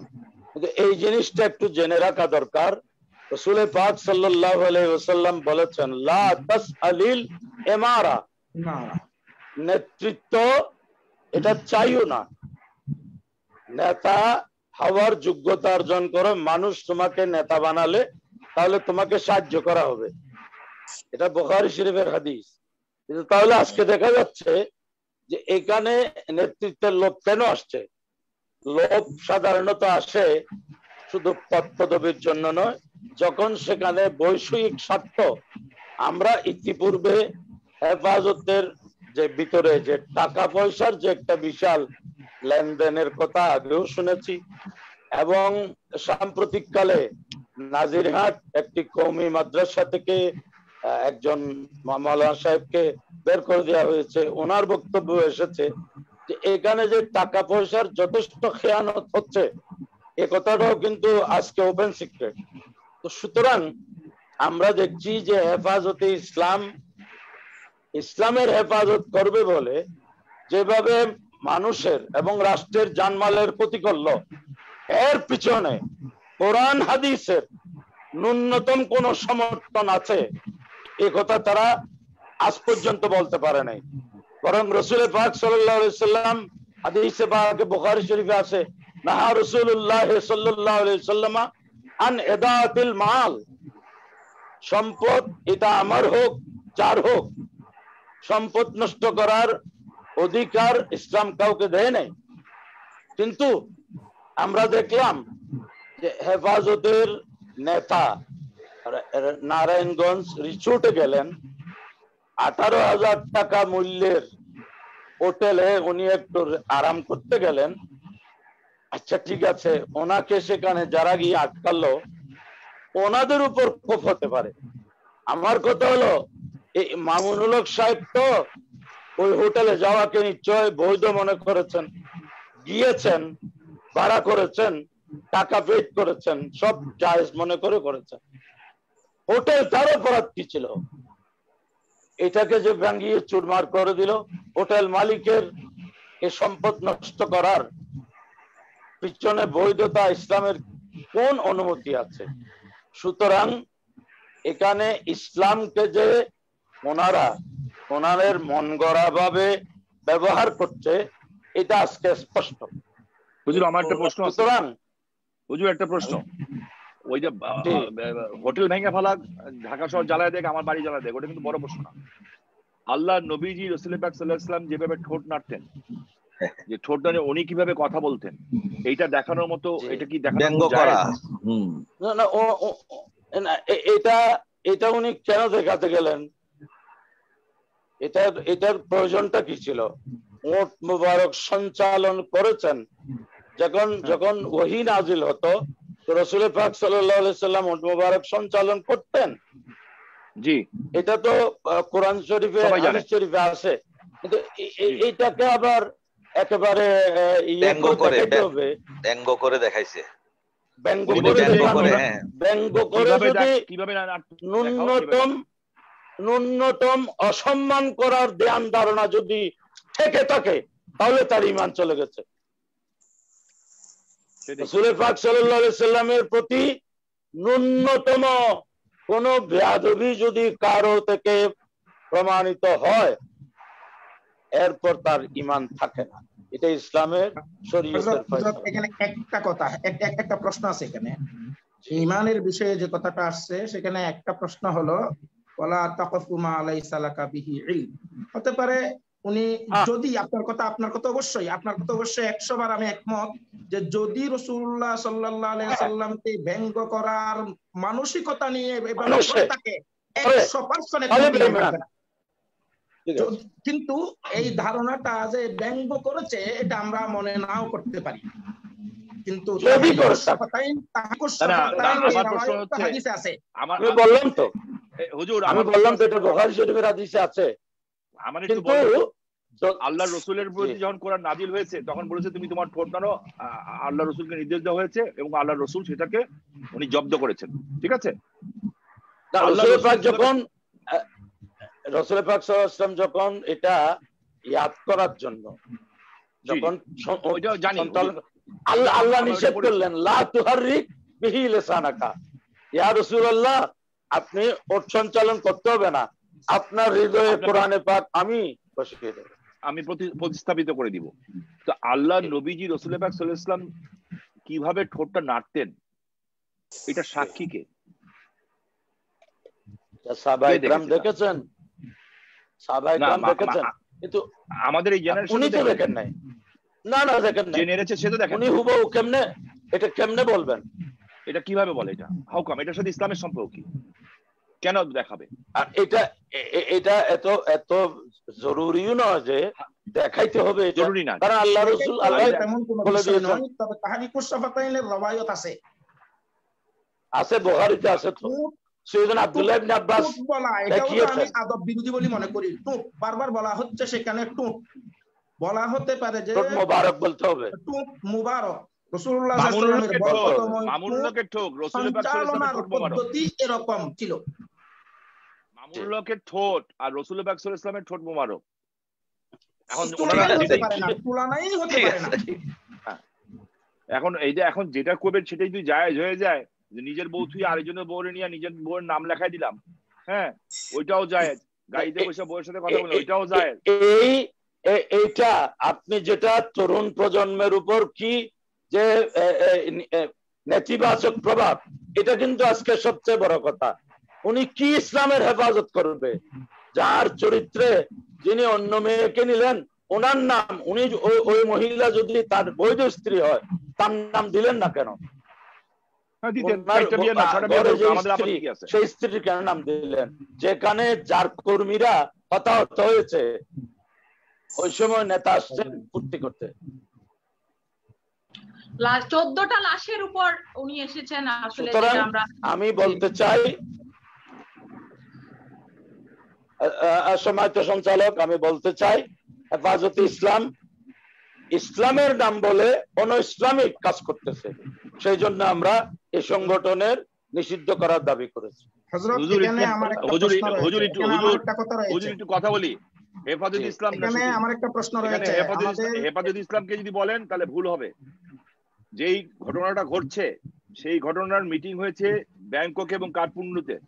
হেফাজত ইসলামের এক নেতা স্বীকার করেছেন যে নিজে হ্যাঁ আমি উপস্থিত ছিলাম হুজুরের নির্দেশে আমি গেছিলাম সে এখনও কেন ঘুরে বেড়ায় আমি জানি না। ঠিক আছে কিন্তু ছিল সেখানে জামাত ছিল সেখানে অন্য দলের লোকও ছিল সেখানে বিদেশি এজেন্সি ছিল এবং বিদেশি এজেন্ট কে ছিল সেটাও ছিল। উদ্দেশ্য কিন্তু এখানে ধর্ম প্রচার না উদ্দেশ্যটা হচ্ছে রাষ্ট্রটাকে অকার্যকর করা।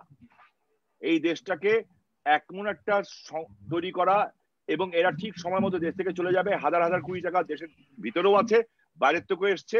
এই টাকাটাকে দিয়ে দেশটাকে আনরেস্ট করে দিয়ে একটা অকার্যকর রাষ্ট্র বানিয়ে দিয়ে যাতে এই ভূমিটাকে জঙ্গিরা ব্যবহার করতে পারে। ঠিক এই একই উদ্দেশ্যে আজকে থেকে দুই হাজার একের পরে একই উদ্দেশ্যে কিন্তু বাংলাদেশে জাহাজ ভরে অস্ত্র এসেছিল কিন্তু। একই উদ্দেশ্য নিয়ে। জাহাজ ভরে অস্ত্র এসেছিল এবং এই অস্ত্র খালাস করতে গিয়ে দশ টাকা অস্ত্র ধরা পড়ে গেছিল। শুধু শুধুমাত্র হেফাজত হেফাজত হেফাজত না হেফাজতের ভিতরে বড় বড় রানী মহারানী অনেক কিছু জড়িত না, না, তা- কিন্তু হেফাজতকে তো সামনে এক মিনিট। হেফাজত ইসলাম এটা আল্লামা শফি সাহেব রহমতুল্লাহ আলাইয়ের প্রতিষ্ঠাতার পর থেকে এভাবে হেফাজত ইসলামে কোনো আস্পালন হয় নাই। কিন্তু হেফাজত ইসলাম হজরতের এন্তেকালের পর হজরতের সাদের পর যখন হেফাজত ইসলাম অবৈধভাবে দখল করে নিয়েছে হেফাজত ইসলামকে হাইজেক করা হয়েছে হেফাজত ইসলাম যারা এখন নাম ব্যবহার করতেছে তাদের এই হেফাজত ইসলামের নাম ব্যবহার বৈধ নয়। যেহেতু যিনি কমিটি আহ্বান করেছেন গঠন করার জন্য সেই আহ্বায়ক অনেক আগের থেকে দুই বছর আগের থেকে উনি পদত্যাগ করেছিলেন। পদত্যাগ করার উনি আবার সংগঠনে আসেন নাই। সংগঠনে ফিরে না এসে উনি আবার বাইরের একজন মানুষ। উনি যদি আহ্বায়ক হয়ে কোনো কমিটি করে, এই কমিটি কোনো জায়গায় সর্বমহলে অবৈধ বিবেচিত হবে, কোনোদিন বৈধ হতে পারে না। সেজন্য বর্তমান যেই হেফাজত ইসলাম ব্যবহার করছে যারা, তারা প্রকৃত হেফাজত ইসলাম ব্যবহার করছে না। তাদের হেফাজত ইসলাম নাম- ব্যবহার করাটা অবৈধ। হেফাজত ইসলাম আপনারা নিষিদ্ধ করার যে ঘোষণা দিচ্ছেন বা দাবি দিচ্ছেন, এই দাবির সাথে আমি একমত নই। এই জন্য যে হেফাজত ইসলাম যারা ব্যবহার করছে তাদেরকে আপনারা যেইভাবে প্রমাণ পেয়ে গেলে প্রমাণিক ভাবে দালিলিক ভাবে ব্যবস্থা নেওয়া হোক আইনানুক ব্যবস্থা নেওয়া হোক দুইটা জিনিস এখানে বর্তমানে গ্রেফতার চলছে।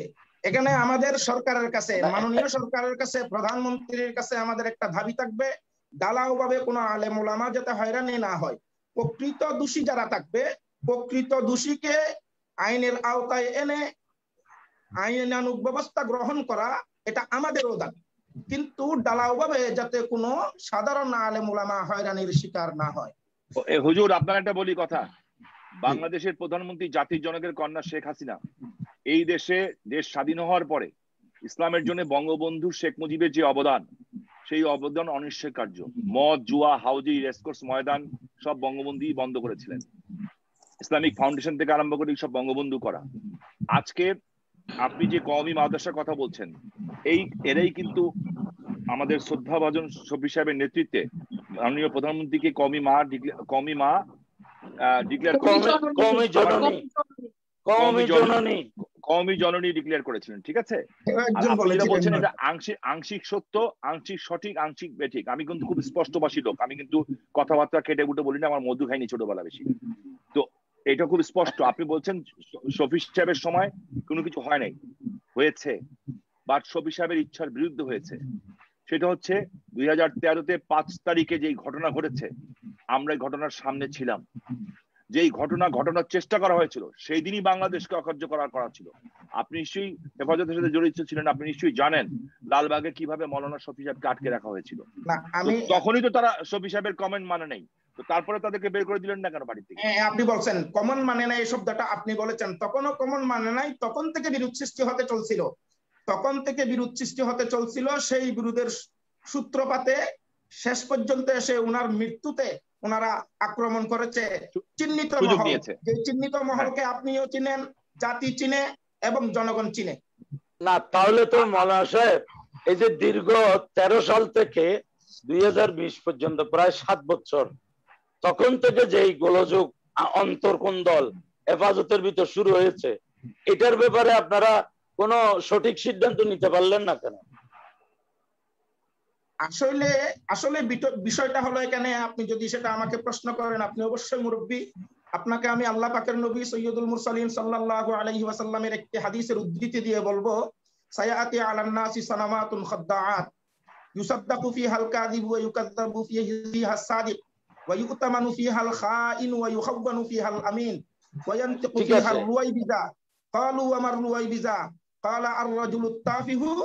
ফি আমরিল আম্মা এখানে আমাদের দেশ হুজুগি বাঙালি আমাদের দেশের মানুষ ঈদের রাত্রে তিরিশ টাকা কুড়ি দেড়শো টাকা দিয়ে কিনে। এই আমাদের দেশের সাধারণ ধর্মপ্রিয় মানুষেরা যেই দিকে হুজুগি ভাবে যায় সেই দিক থেকে মানুষকে ফিরানো খুব কঠিন হয়ে যায়। যার কারণে গিয়ে আমাদের দেশে অনেক মৃত্যু মানুষের কাছে সত্য হিসেবে গৃহীত হয়ে যায়। আবার অনেক সত্য মানুষকে মানুষ বিশ্বাস করতে পারে না। যে এই সময়টার ব্যাপারে রসুল্লাহ সাল্লাহ আলাইহি ওয়াসাল্লাম ভবিষ্যৎবাণী করেছিলেন সায়াতি আলান নাসি সানাওয়াতুন খাদ্দাআত ইউসাদ্দাকু ফিহাল কাযিব ওয়া ইউকাযযাবু ফিহা সাদিক সত্যবাদীকে মিথ্যাবাদী মনে করবে ঠিক আছে। সত্যবাদী মনে করবে। ঠিক আছে কিন্তু শফি সাহেব তো যখন দেখতেছেন যে ওনার আভ্যন্তরীণ। আমি আমি আপনাদের কাছে আবার আসতেছি উনি উনি উনি নিজস্ব হয়ে গেলে তো জি জি আমি প্রসঙ্গে আমি একটু সাহেবের কাছে যেতে চাই। আহ, বক্তিয়ার ভাই আপনি আমাকে শুনতে পাচ্ছেন? জি শুনতে পাচ্ছি। জি ইসলামের যে মূল আদর্শ মূল আকিদা আমরা দেখেছি যে ইসলাম কখনো মারামারি হানাহানিকে কখনো কখনো এজাজত বা কখনো এটাকে স্বীকার করেনি বা এটাকে কখনো স্বীকৃতি দেয়নি যে ইসলাম হচ্ছে একটা শান্তির ধর্ম। এই যে এই যে বেহেস্তের চাবি দেখিয়ে এই যে আপনার আমরা দেখতে পাচ্ছি যে জান্নাতি হুরের কথা বলে এবং আহ, জান্নাতের ভিসা পাসপোর্ট নামে ওরা বই পর্যন্ত ওরা বের করেছে। এগুলো লোক দেখিয়ে যে আমাদের যে শিক্ষার্থীদেরকে রাজনৈতিক হাতিয়ার হিসেবে ব্যবহার করছে, যেটা মামুনুল হক রিমান্ডে স্বীকার করেছেন যে তারা এই ছাত্র ছাত্র- ছাত্রদেরকে তাদের রাজনৈতিক লিপসা চরিতার্থ করার হাতিয়ার হিসেবে ব্যবহার করছে। তারা কিন্তু এখানে মাঝখান দিয়ে একটা বিক্টিম করছে, আমাদের যে চোদ্দ জন ছাত্র মারা গেল, তারা কিন্তু বিক্টিম তো ইসলামের যে অমীয় বাণী ইসলামের যে পবিত্রতা, শুদ্ধতা, এটা রক্ষার জন্য আপনারা যারা আমি বলেছি যে আলেমরা কেন? এই যে আমরা দেখেছি অতীতে যে প্রতিনিয়ত যে মাদ্রাসায় শিশু বলাৎকারের ঘটনাটা আমাদের সমাজে বিষ ফোড়ার মতো আমরা আমরা এটাকে পরিলক্ষিত করছি। যে কিছুদিন আগে আমাদের চট্টগ্রামে মুরাদপুরের একটা মাদ্রাসায় কি বিভৎসতা, যে পালাক্রমে বাচ্চাদেরকে বলাৎকারের যে বিভৎসতা আমরা দেখেছি, সেটা কোনো অভিভাবক তথা কোনো মা বা বাবার পক্ষে যে মাদ্রাসায় পরবর্তীতে শিক্ষার্থীদেরকে পাঠাবে কিনা, সেটা কমই এই যে মাদ্রাসাগুলোর কারণে যে অন্যান্য যে মাদ্রাসা আছে, সেই মাদ্রাসাগুলোর প্রতিও মানুষের নেতিবাচক দৃষ্টিভঙ্গি জন্ম নিচ্ছে। এই বিষয়টা আপনি ক্লিয়ার করবেন। জি আপনার এই কথাটা বলব আমি, তার আগে আমি আরও কয়েকটি কথা আমি প্রাসঙ্গিক বলতে চাই। প্রথমত অঞ্জন দা সাথে মিলিয়ে এবং আপনি যে প্রশ্নটা আমাদের মাননীয় সাংসদ শামীম মুসলমান ভাইকে বলেছেন, এই দুইটার সাথে আমি কিছু কথা আমার যোগ করার দরকার আছে বলে আমি মনে করছি। যে আজকে যেখানে সাম্প্রদায়িকতার প্রশ্ন আসছে আমি আমার পরিচয়ের সাথে আপনি একটা পরিচয় বলেছেন যে করোনায় দাফন কাফন সৎকার কমিটির আমি প্রধান সমন্বয় আমি অঞ্জন রায়ের সাথে একটু প্রাসঙ্গিক আসছে বলে আমি একটু আমার পরিচয়টা দিতে চাই। এক অর্থে, এক কথায় যে আজকের চব্বিশ তারিখ পর্যন্ত আমরা প্রায় বাংলাদেশে গাউসিয়া কমিটি বাংলাদেশের পক্ষ থেকে আড়াই হাজারের মতো লাশ দাফন করেছি এবং যেখানে পঁয়ত্রিশ জন মুক্তিযোদ্ধা রয়েছেন, তিরিশ জন হিন্দু এবং তিনজন বৌদ্ধ রয়েছেন। আমি জানাতে চাই, নতুন চন্দ্র সিংহের ছেলে প্রফুল্ল রঞ্জন সিং মুক্তিযোদ্ধা, যার লাশ আমি নিজে হাসপাতাল থেকে বের করে ওই অ্যাম্বুলেন্সে করে আমি নিজে গিয়ে এবং আমার কর্মীদেরকে দিয়ে তার গোসল করানো কাপড় চেঞ্জ করা এবং তাকে চিতায় তোলা পর্যন্ত। তাকে কাঁধে বিদিত নেওয়া। এই কাজটা আমরা করেছি। আমি এই কথাটা বলার অর্থ এটাই মুদ্রার এই পিঠ আর ওই পিঠ দুইটা পিঠ যখন আমরা সামনে রাখব তখন প্রকৃত অর্থে ইসলামের মূল ধারা কোনটা সেটা মানুষের সামনে পরিষ্কার হয়ে যাবে। আজকে আমাদের জনাব শামীম মুসমান সাহেব একটা কথা বলেছেন মিটিং হচ্ছে নেপালে। বা অন্য দেশে মিটিং হচ্ছে। আসলে তো জঙ্গিবাদটা ইহুদিবাদেরই একটি স্বার্থ। তারা চায় মুসলমানদেরকে এবং ইসলামকে, এরা সন্ত্রাসী গোষ্ঠী, এ কথাটা বিশ্বের দরবারে তুলে ধরা এবং মুসলমানকে কোনো না কোনো ভাবে তাদেরকে পিছিয়ে দেয়া এবং এখানে গিনিপিগের মতো কাজ করছে কিছু মাদ্রাসা, কিছু আলেম উলামা, তারা স্বার্থের জন্য ছাত্রদেরকে ব্যবহার করছে এবং এই জনগোষ্ঠীকে লেলিয়ে দিয়ে তারা এমন কিছু কর্মকাণ্ড করে যাচ্ছে যাতে বিশ্বের দরবারে মুসলমানদেরকে সন্ত্রাসী হিসেবে আখ্যায়িত করাটা সহজ হয়ে যায়। তারা মূলত আজকে যারা জঙ্গিবাদী তৎপরতা চালাচ্ছে, আর আসলে তারা বাংলাদেশে বসে সব করছে, তা না। বাংলাদেশে আমরা তাদের শোটা দেখছি। এর গোড়া কিন্তু অনেক দূরে, যে কথাটা আমরা আহলে সুনাত জামাত বারবার বলে আসছি। এখানে আমি আরও কথা যুক্ত করতে চাই আপনি একটা প্রশ্ন করেছেন যে শিক্ষা নীতি নিয়ে, মাননীয় সাংসদকে। আমি এর সাথে একটা বিষয় যুক্ত করতে চাই।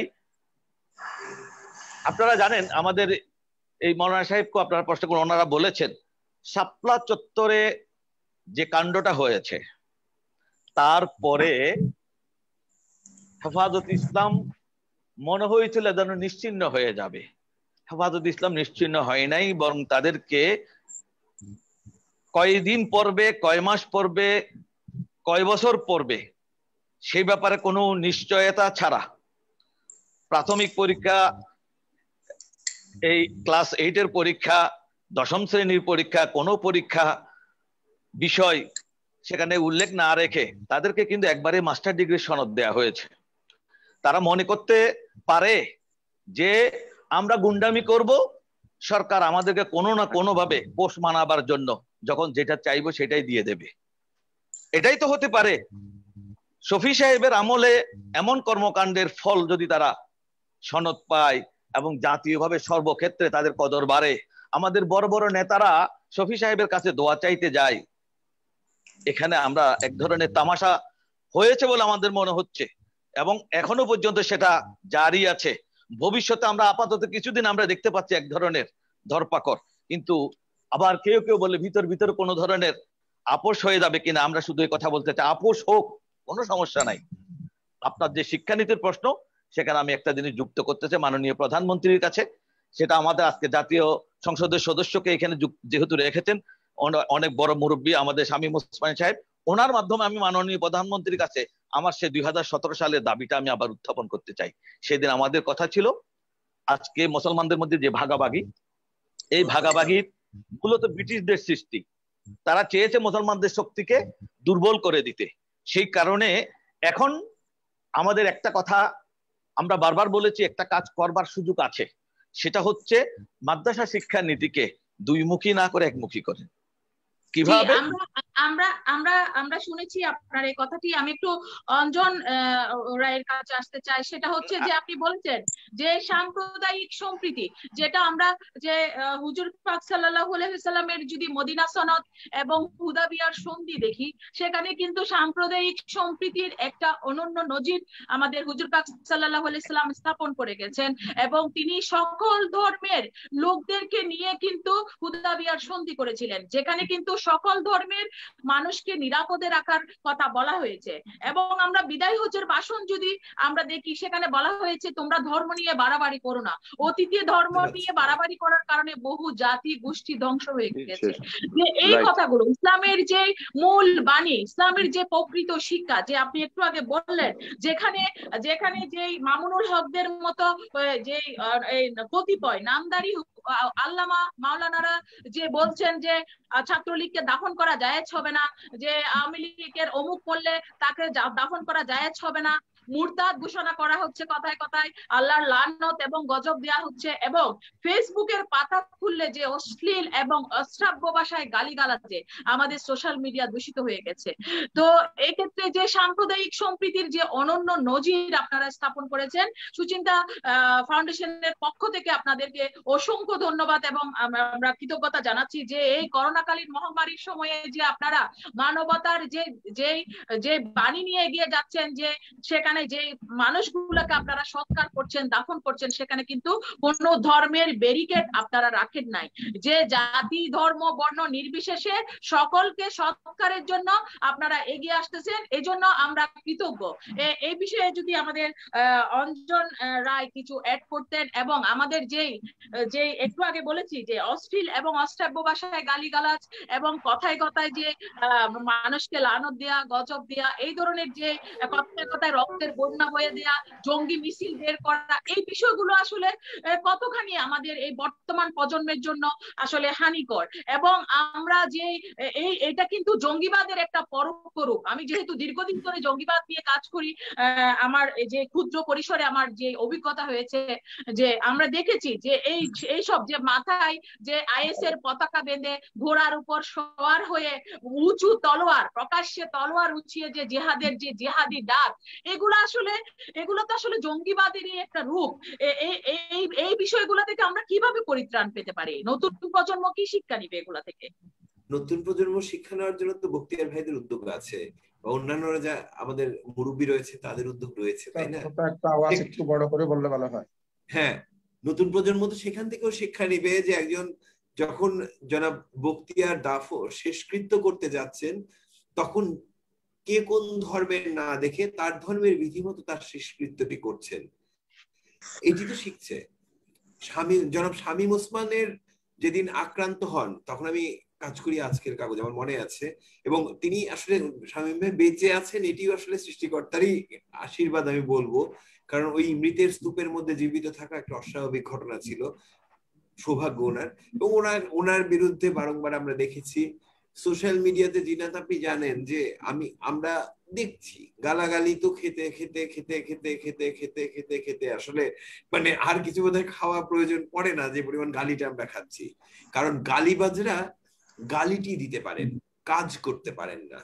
কাজ করার জন্য আমাদের এখানে যে মুরব্বীরা রয়েছেন তারা পারেন। কারণ যিনি বিদেশে বসে গালি গালাজ করবেন, তার তো আসলে আর কোনো কাজ নেই।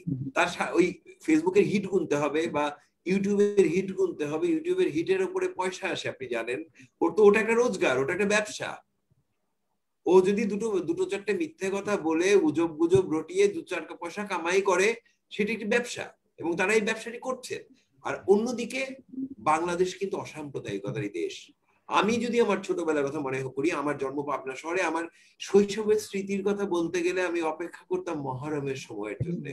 মহরমের যে মিছিল যেত আহাজারি নিয়ে আমি নিজেও কিন্তু সেই মিছিলের পেছনে দৌড়ে দৌড়ে বড় হয়েছি। আবার যখন দুর্গাপূজার বিসর্জনের জন্য রওনা হয়েছে মিছিল সেই মিছিলের পেছনেও হেঁটেছি। আমাকে কিন্তু কেউ জিজ্ঞাসা করেনি আমার পরিচয়টি কি। আমি শুরুতে বলেছিলাম যখন আমি ব্যাংককে এক ধরনের ষড়যন্ত্রের কথা আমরা শুনছিলাম আমরা জানি সেই ব্যাংককেই যখন পৃথিবীর দীর্ঘতম একটি বুদ্ধ মূর্তি আছে ধাতব সেই বুদ্ধ মূর্তির সামনে যখন আমি গিয়ে দাঁড়িয়েছি কেউ আমাকে জিজ্ঞেস করেনি যে তুমি তো বুদ্ধিস্ট না, তুমি কেন এখানে? আমি যখন আজমির শরীফে গিয়েছি তখন জিজ্ঞেস করেনি। আমি যদি মাইজ ভান্ডার শরীফে যাই, কেউ নিশ্চয়ই আমার ধর্ম পরিচয়টি জিজ্ঞেস করবে না, ওখানকার নিয়মটি আমাকে মানতে বলবে। সুতরাং এই ভূমিটি কার? এই ভূমিটি তো আমাদের অনেক আউলিয়ার ভূমি, অনেক ধর্ম প্রচারকের ভূমি, এই ভূমিটি লালনের ভূমি, এই ভূমিটি কাজী নজরুল ইসলামের ভূমি, এই ভূমিটি বঙ্গবন্ধু শেখ মুজিবুর রহমান আমাদেরকে স্বাধীন করে দিয়ে যাওয়া ভূমি। এখানে এইসব বিদেশি ফান্ডিং এ দুদিনের জন্য অরাজকতা সৃষ্টি করা যেতে পারে। কিন্তু ও দিয়ে বাংলাদেশের সরকার পতনের যারা স্বপ্ন দেখেন, তারা ঠিক দিবা স্বপ্নও নয়। তারা জেগে জেগে স্বপ্ন দেখেন, চোখ খুলে স্বপ্ন দেখেন এবং দুটো পাই পয়সা পাওয়ার জন্য, বিদেশ থেকে দুটো চারটে টাকা পাওয়ার জন্য এক ধরনের ষড়যন্ত্রের স্বপ্ন দেখেন। এই স্বপ্ন বাংলাদেশের ভূখণ্ডে কখনো সফল হবে না। এখনও মুক্তিযোদ্ধার সন্তানেরা বেঁচে আছে। অসাম্প্রদায়িক বাংলাদেশকে ধারণ করা মানুষরা বেঁচে আছেন। এবং আমাদের যে বুজুর্গরা এখনও বেঁচে আছেন, তারা অসম্ভব উদার দৃষ্টিতে এই পৃথিবীকে দেখেন। আমাদের রাজনীতিবিদরা উদার দৃষ্টিতেই বাংলাদেশকে দেখেন। সুতরাং মাঝখান থেকে যারা খোয়া মানে এক ধরনের স্বপ্ন দেখছেন যে কিছু একটা করে রাস্তায় পাঁচ ফুট দেয়াল তুলে রাষ্ট্রকে অকার্যকর করে দেবেন। তাদের দৌড়টা তো আমরা দেখলাম তাই না? তাদের দৌড়টা আমরা খুব ভালো করে দেখেছি এবং এই দৌড় দিয়ে খুব বেশি কিছু হয় না। বড়জোর এই রিজোর্ট পর্যন্তই যাওয়া যায় রাষ্ট্র ক্ষমতা পর্যন্ত নয়। ধন্যবাদ। ইয়াসিন হাবিব আপনি আমাকে শুনতে পাচ্ছেন? ইয়াসিন হাবিব?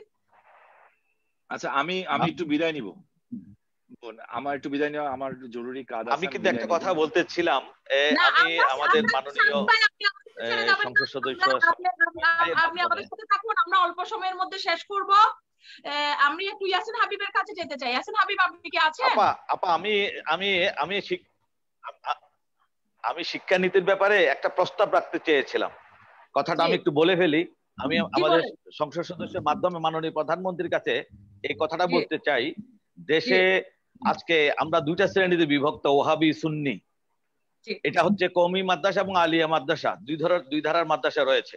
এক্ষেত্রে আমাদের আগেও প্রস্তাব ছিল এখন আমি প্রস্তাব রাখতে চাই কৌমি মাদ্রাসা থেকে দশজন আলেম নেন এবং আলিয়া নেসাব থেকে দশজন আলেম নেন। এই বিশ জন আলেম একত্রিত হয়ে একটা কমন সিলেবাস বানাবেন। উভয় মাদ্রাসা আলাদাভাবে থাকবে কিন্তু একই সিলেবাস পড়াবে একই কিতাব পড়াবে। তাহলে আজকের যে সংঘাত সেটা অনেক অংশে কমে আসবে এবং দূরত্ব কমে আসবে মুসলমানে মুসলমানে। এই নীতিটা বাস্তবায়ন করতে অসুবিধা কোথায়? আমি প্রস্তাব করেছিলাম শুধু মুখে না আমাদের চট্টগ্রামের যে সি প্লাস, সেখানে কিন্তু একজন হেফাজতের একজন আলেমকে আনা হয়েছিল, আমাকেও নেওয়া হয়েছিল। সেখানে কিন্তু আমি বললাম, আহলে সুনাদ জামাতের পক্ষ থেকে আমি দায়িত্ব নিলাম। আপনি কৌমিদের পক্ষ থেকে দায়িত্ব নেন। ইনি অন দ্য স্পট উনি কোনো দায়িত্ব নিতে পারেন নাই। আজকেও আমি জনাব শামীম ওসমানের মাধ্যমে মাননীয় প্রধানমন্ত্রীকে বলব কৌমি মাদ্রাসা এবং আলিয়া মাদ্রাসা থেকে দশজন দশজন বিশ জন বিশ জন আলেম নিয়ে একটা সিলেবাস বানান। দুইশো বছর আগে তো আমাদের মধ্যে এত বিভেদ ছিল না। ব্রিটিশরা আসবার আগে আমাদের মধ্যে এত বিভেদ ছিল না। তখন ওনাদের দাদারা ওনারা সুন্নি পরিচয় ছিলেন। আজকে ওনাদের আরেকটা পরিচয় এসে যাচ্ছে কেন? এই সুযোগটা বন্ধ করার দরকার আছে বলে আমি মনে করি। জি। বক্তিয়ার ভাই আমি একটা কথা বলি হ্যাঁ? আমার কাছে খুব খারাপ লাগে কটা জিনিস। আমরা যখন কোরবানি দেই হ্যাঁ গরু কোরবানি দিচ্ছি কিংবা খাসি কোরবানি দিচ্ছি যাই দিচ্ছি আল্লাহর নামে দিচ্ছি ঠিক আছে? আমি দেখি যে বিভিন্ন মাদ্রাসার ছেলেরা এসে হ্যাঁ বিভিন্ন বাড়ির সামনে এসে দাঁড়িয়ে থাকে। কেন? ওই চামড়াটা তার দরকার। জি। ওই চামড়াটা কালেকশন করার জন্য মাদ্রাসা থেকে পাঠায়। এখানেই তো শিক্ষা ব্যবস্থার সবচেয়ে বড় গলদ হয়ে গেছে। জি জি। আমি এখানে কিন্তু একটা ডিফারেন্ট হচ্ছে যে আজকের জেনারেশনের বাচ্চা একভাবে লেখাপড়া করছে ও ওই বাচ্চাটা এসে দেখছে ও class seven eight nine ten twelve এর একটা মনে করেন চোদ্দ পনেরো ষোলো সতেরো আঠারো বছর একটা বাচ্চা মাদ্রাসার ছেলে। আপনি একটা সুন্দর আপনি একটা সুন্দর তথ্য দিয়েছেন আমাদের এই চট্টগ্রামের আমাদের যে নেতা পাও চেনে চট্টগ্রাম জামি আহমদিয়া সুন্নি আলিয়া মাদ্রাসার এখানে হাজার হাজার ছাত্র আছে যারা কেউ চাঁদা তোলবার জন্য যায় না চামড়া তুলতে যায় না। পাশাপাশি কিন্তু। কৌমি মাদ্রাসার ছেলেরা এলাকা এলাকায় ঘুরতেছে। কেন হবে? ওদেরকে এত হীনমন্য করে গড়ে তোলার কারণটা কি? আমি কমিও বুঝি না আমি ওইটাও বুঝি না। আমি বুঝতে চাচ্ছি যে পৃথিবী যেখানে যাচ্ছে পৃথিবীর সাথে লড়াই করার জন্য কি আমি আমার বাচ্চাকে তৈরি করছি?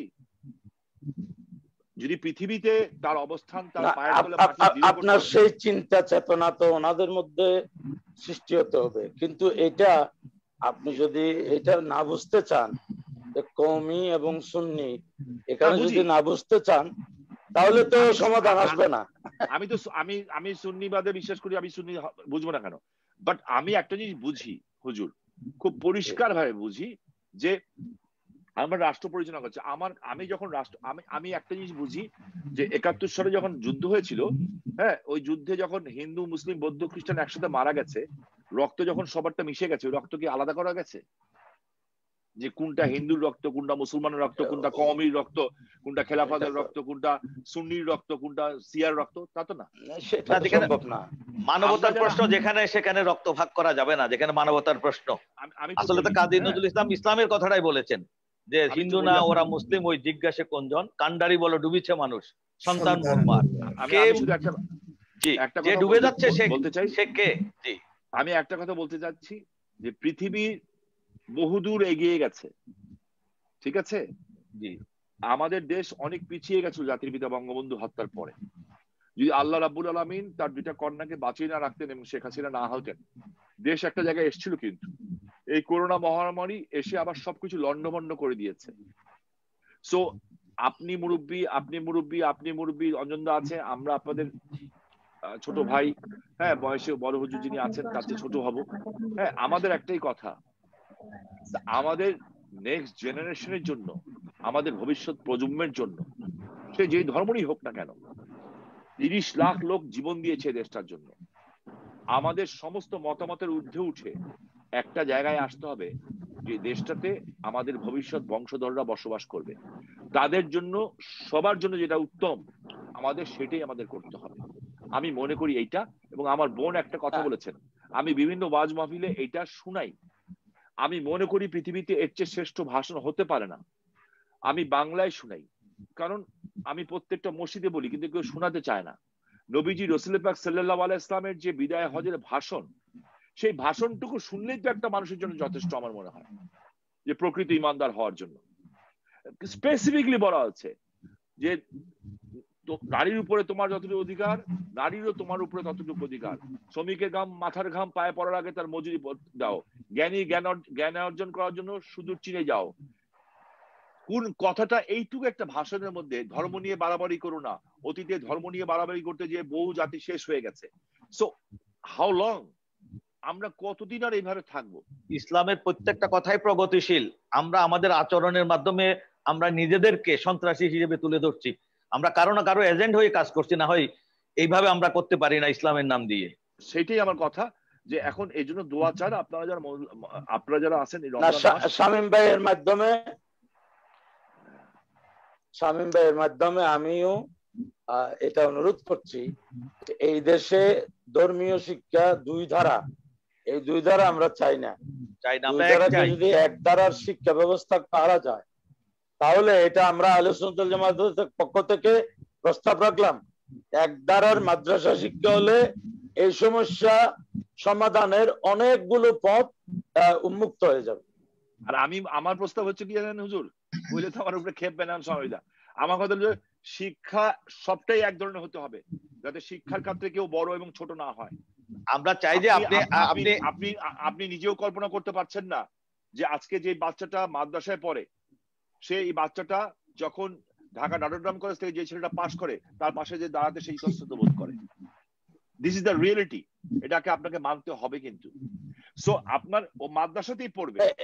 এটা তো ওনাদেরকে ওনাদেরকে উপলব্ধিতে আনতে হবে এটা। এটা ওনাদের উপলব্ধিতে হবে। আপনার কথা আমি একমত। বাট আমার কথা থাকতে হবে অবশ্যই তাকে ধর্মীয় শিক্ষায় শিক্ষিত হতে হবে। আপনি কোরআনে হাফেজ করবেন, সবকিছু করবেন, আলহামদুলিল্লাহ। এর চেয়ে বড় কিছু আমি মনে করি একটা মানুষ যদি কোরআনে হাফেজ হতে পারে, তার জীবনে আর চাওয়া পর কি আছে পরকালের জন্য? ওইটাও যেমন দেখতে হবে, সাথে সাথে এটাও দেখতে হবে যে এই দুনিয়াদারিকে তার করে খেতে হবে তো। এই দুনিয়াদারিতে তাকে চলতে হবে। সে যাতে কোনো জায়গায় নিজেকে মনে না করে যে আমি ছোট। সো আমি আমি যেটা মনে করি এখানে হেফাজত ইসলাম এবং আহলে জামাত আমি এটা, আমি মনে করি যে মাদ্রাসাগুলি একটা সিস্টেমের ভিতরে থাকা উচিত। ইসলাম আবার দুটা সিস্টেমে হবে কেন? আমি তো বুঝি না। আমি একই আল্লাহর কথা বলি একই রসুলের কথা বলি তাহলে শামীম ভাই আপনি চাইলে আপনি চাইলে জাতীয় সংসদে আহলে সুন্নাত ওয়াল জামাতের এই প্রস্তাবটা উত্থাপন করতে পারেন অথবা মাননীয় প্রধানমন্ত্রীর কাছে আপনি ব্যক্তিগত ব্যক্তিগতভাবে আমাদের এই বক্তব্যটা জানাতে পারেন যে কমি মাদ্রাসা এবং আলিয়া মাদ্রাসা থেকে আহলে সুন্নাত জামাত থেকে দশজন কমিদের থেকে দশজন বিশ জন আলেম নিয়ে আলোচনা করে উভয় একমত হয়ে যাবে এমন একটা সিলেবাস তৈরি করে যদি শিক্ষা দেওয়া হয় অভিন্ন সিলেবাস তাহলে দেখবেন জি। বক্তের বক্তের ভাই যদি আল্লাহ এই- পর্যন্ত যদি ওনারা বাইচা থাকতে দেয় হ্যাঁ কারণ আমি জানি যে আমার মারার জন্য শুনি এই দিক থেকে দিক থেকে বিভিন্ন জায়গায় খবর দেয়। ওই দুই হাজার একের আগেও খবর পাইছিলাম ষোলো জুনের আগে মারা হবে। ভাবছিলাম যে গুলি টুলি করে মারবে সামনের দিকে। হ্যাঁ সরকারের সর্বোচ্চ পর্যায়ে থেকে বলা হয়েছে মারাবে। আমি ছিলাম গুলি করে মারলে আছে ঠিক আছে সামনাসামনি লড়াই হবে দেখা যাক কার কতটুকু সাহস আছে। ওইভাবে বম ব্লাস্ট করা হবে এটা বুঝতে পারিনি। বাংলাদেশের সবচেয়ে বড় বম ব্লাস্টটা এবং যিনি করছিলেন ছোটবেলা আমি তার কোলে বসে নামাজ পড়ছি। উনি আমাকে কোলে বসাতেন এবং উনি ওইটার ক্ষেত্র প্রস্তুত করছিলেন। সো ওরা কতটুকু অমানবিক হয় আমি জানি। যদি বেঁচে থাকি, আপনার এই বিষয়টা আলোচনা করব, আপনার নাম্বারও নিয়ে নিব অন্যান্য নেতাদের সাথে আলাপ করব, শিক্ষামন্ত্রীর সাথে কথাটা পৌঁছাবো, যদি ওই পর্যন্ত বেঁচে থাকি। আজকের জন্য আমি আমার বোনের কাছে এবং অনন্দা জি এবং এটা আমি শেষ আমি শেষ করছি।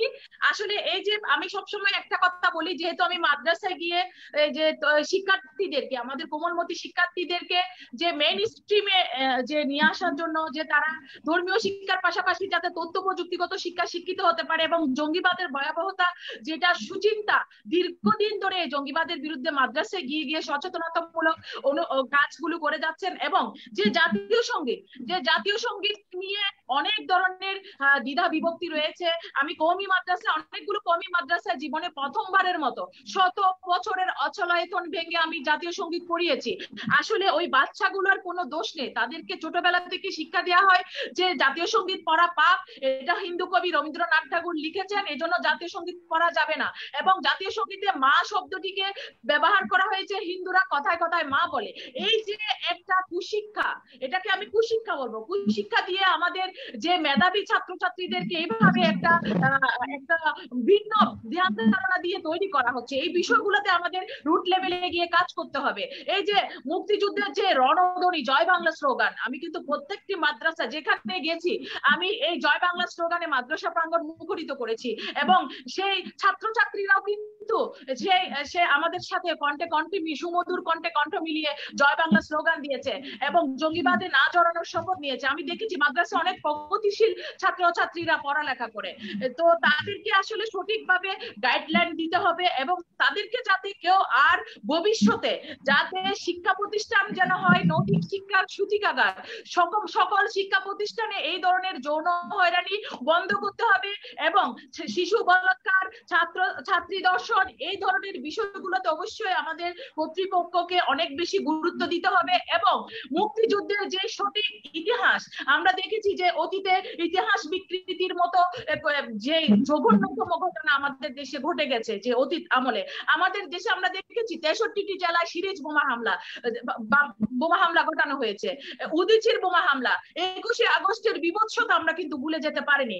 সেই এখন যে ধরনের ওয়াজ মাহফিল গুলাতে ধর্মীয় ধর্মীয় মাহফিল গুলাতে কোরআন হাদিসের ব্যাখ্যার পরিবর্তে যেভাবে গানের প্যারোডি করা হয় এবং রক্তের বন্যা বইয়ে দিবে খুন করে ফেলবে, মেরে ফেলবে উপরে দেওয়া হবে, এই ধরনের যে হুমকি দামকি দেয়া হচ্ছে, এই জন্য আজকে যেভাবে আমাদের সাইকুল হাদিস কাজী মোহাম্মদ মইনুদ্দিন আশরাফি হুজুরের মতো হুজুররা আলেমিদিনরা আমরা জানি জামিয়া আহমদিয়া সুন্নিয়া মাদ্রাসার অধীনে অনেকগুলো মাদ্রাসা আছেন এবং এইদের অনুসারী অনেকগুলো মাদ্রাসা দেশে আছেন এবং এদের লক্ষ কোটি অনুসারী আছেন এবং কমিতে যারা পড়ালেখা করেন, সকল কমিদেরকে কিন্তু ঢালাওভাবে দোষারোপ করলে হবে না। তাদেরকে যেভাবে গড়ে তোলা হচ্ছে, সেভাবে কিন্তু তারা নিজেদেরকে ওভাবে করে গঠন করছে। কারণ ম্যাক্সিমাম ছাত্র, ছাত্ররা দেখি আমরা তারা সুবিধা বঞ্চিত জায়গা থেকে উঠে আসছে।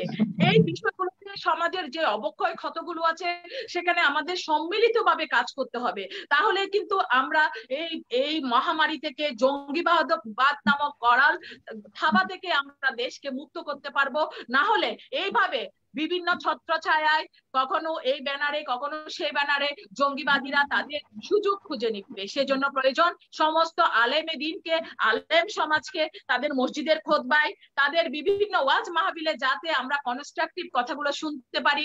কথায় কথায় এই যে জায়গায় আমরা আমরা আজকে পত্রিকা দেখেছি যে মামুনুল হক গংরা যে ওয়াজ মাহফিলের জন্য একটা কমিটি গঠন করে পুরা বাংলাদেশের যে ওয়াজ মাহফিলগুলা হতো, সে ওয়াজ মাহফিল সিন্ডিকেট সেটা নিয়ন্ত্রণ করত। এবং আমরা দেখেছি যে বিভৎসতা, যে আমরা কিছুদিন আগে আপনারা দেখবেন যে সোশ্যাল মিডিয়ার বদলতে জো বাইডেন নাকি বাংলাদেশের নাগরিক ছিলেন। তো এই ধরনের যে বিভৎস যে করোনার কেউ চিকিৎসা দিচ্ছে, কেউ করোনা রোগের সূত্র বলছে, এই যে উদ্ভট, এই বিষয়গুলাতে কিন্তু একটা নীতিমালার আওতায় আনতে হবে যে অবান্তর, অবাঞ্ছিত, উস্কানিমূলক রাষ্ট্রবিরোধী যে যাতে বক্তব্য দিয়ে এই দেশটাকে স্থিতিশীল করতে না পারে। এজন্য আমরা অতি সম্প্রতি দেখেছি যে সোশ্যাল মিডিয়ায় উস্কানি দেওয়ার জন্য সৌদি আরব থেকে একজনকে গ্রেফতার করা হয়েছে।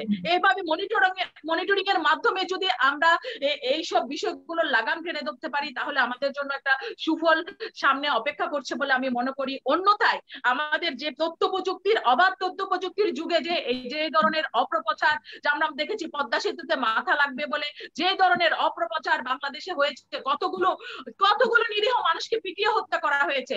রামুর হত্যাকাণ্ড দেখেছি।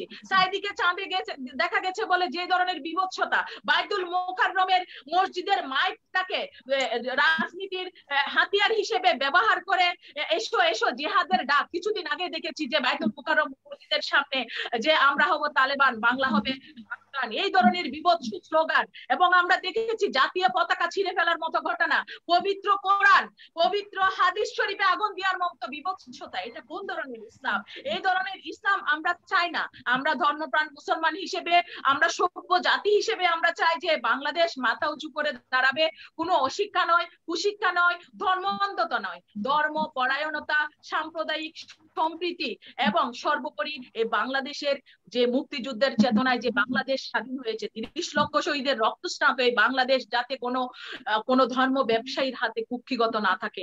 আমরা তরুণ প্রজন্ম আপনাদের কাছে যারা বয়োজ্যেষ্ঠ আছেন তাদের কাছে অনুরোধ জানাই যে আমাদেরকে সঠিকভাবে এই ধরনের মহামারী থেকে এই ধরনের ভয়াবহতা থেকে যেন আমরা উত্তরণ ঘটাতে পারি এবং এই বাংলাদেশ যেভাবে এগিয়ে যাচ্ছে এবং আরও এগিয়ে যাবে। সবাইকে অসংখ্য ধন্যবাদ। আজকে আমরা অনেক গুরুত্বপূর্ণ মূল্যবান আলোচনা আমরা আপনাদের কাছ থেকে সবাইকে জানাতে পেরে কিছু বলবেন? জি কেবল হুজুর না শামিম ভাই? শামিম অডিওটা অন করতে হবে। আপনি যে কথাগুলি বললেন আমার কাছে ভালো লাগল যে একটা নারী হিসাবে আপনি সাহস করে এই কথাগুলি বলতে পারছেন। এবং এই যে বলতে পারছেন এটা কারণ হচ্ছে আপনি একজন ইমানদার মহিলা আপনি আপনার ইমান থেকে আপনি আপনার ধর্মকে ভালোবাসেন সেই জন্য বলছেন। এবং এছাড়াও আরেকটি কারণ আছে আপনি আপনার দেশকেও ভালোবাসেন সেই জন্য বলছেন। বাট মজার ব্যাপারটা কি জানেন? পঁচাত্তরের পনেরোই আগস্টের পর আমাদের বয়স ছিল, আমি তখন ক্লাস এইটে পড়তাম। আমরা ছোট্ট একটা কাজ করেছিলাম। যে পোস্টার লিখেছিলাম, হাতে লেখা, বঙ্গবন্ধু হত্যা বিচার চাই সেপ্টেম্বর মাসে আমার বাবা তখন গ্রেপ্তার, ভাই ভারতে, আরেক ভাইকে বঙ্গবন্ধু হত্যাকে ধরে নিয়ে গেছিল। পিঠের মধ্যে সাইকেল পিটিয়ে ভাঙা হয়েছিল, অজ্ঞান অবস্থায় ছিলাম। একুশ বছর আমরা কথা বলতে পারিনি কিন্তু। এই হাত দিয়ে উনপঞ্চাশটা লাশ আমাকে দাফন করতে হয়েছে। উনপঞ্চাশ জন মানুষকে বঙ্গবন্ধু হত্যা বিচারের জন্য।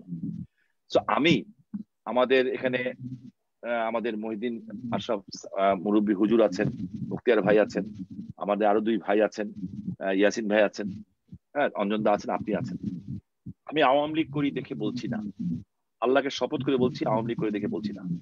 বঙ্গবন্ধু যদি থাকতেন, জাতির পিতা।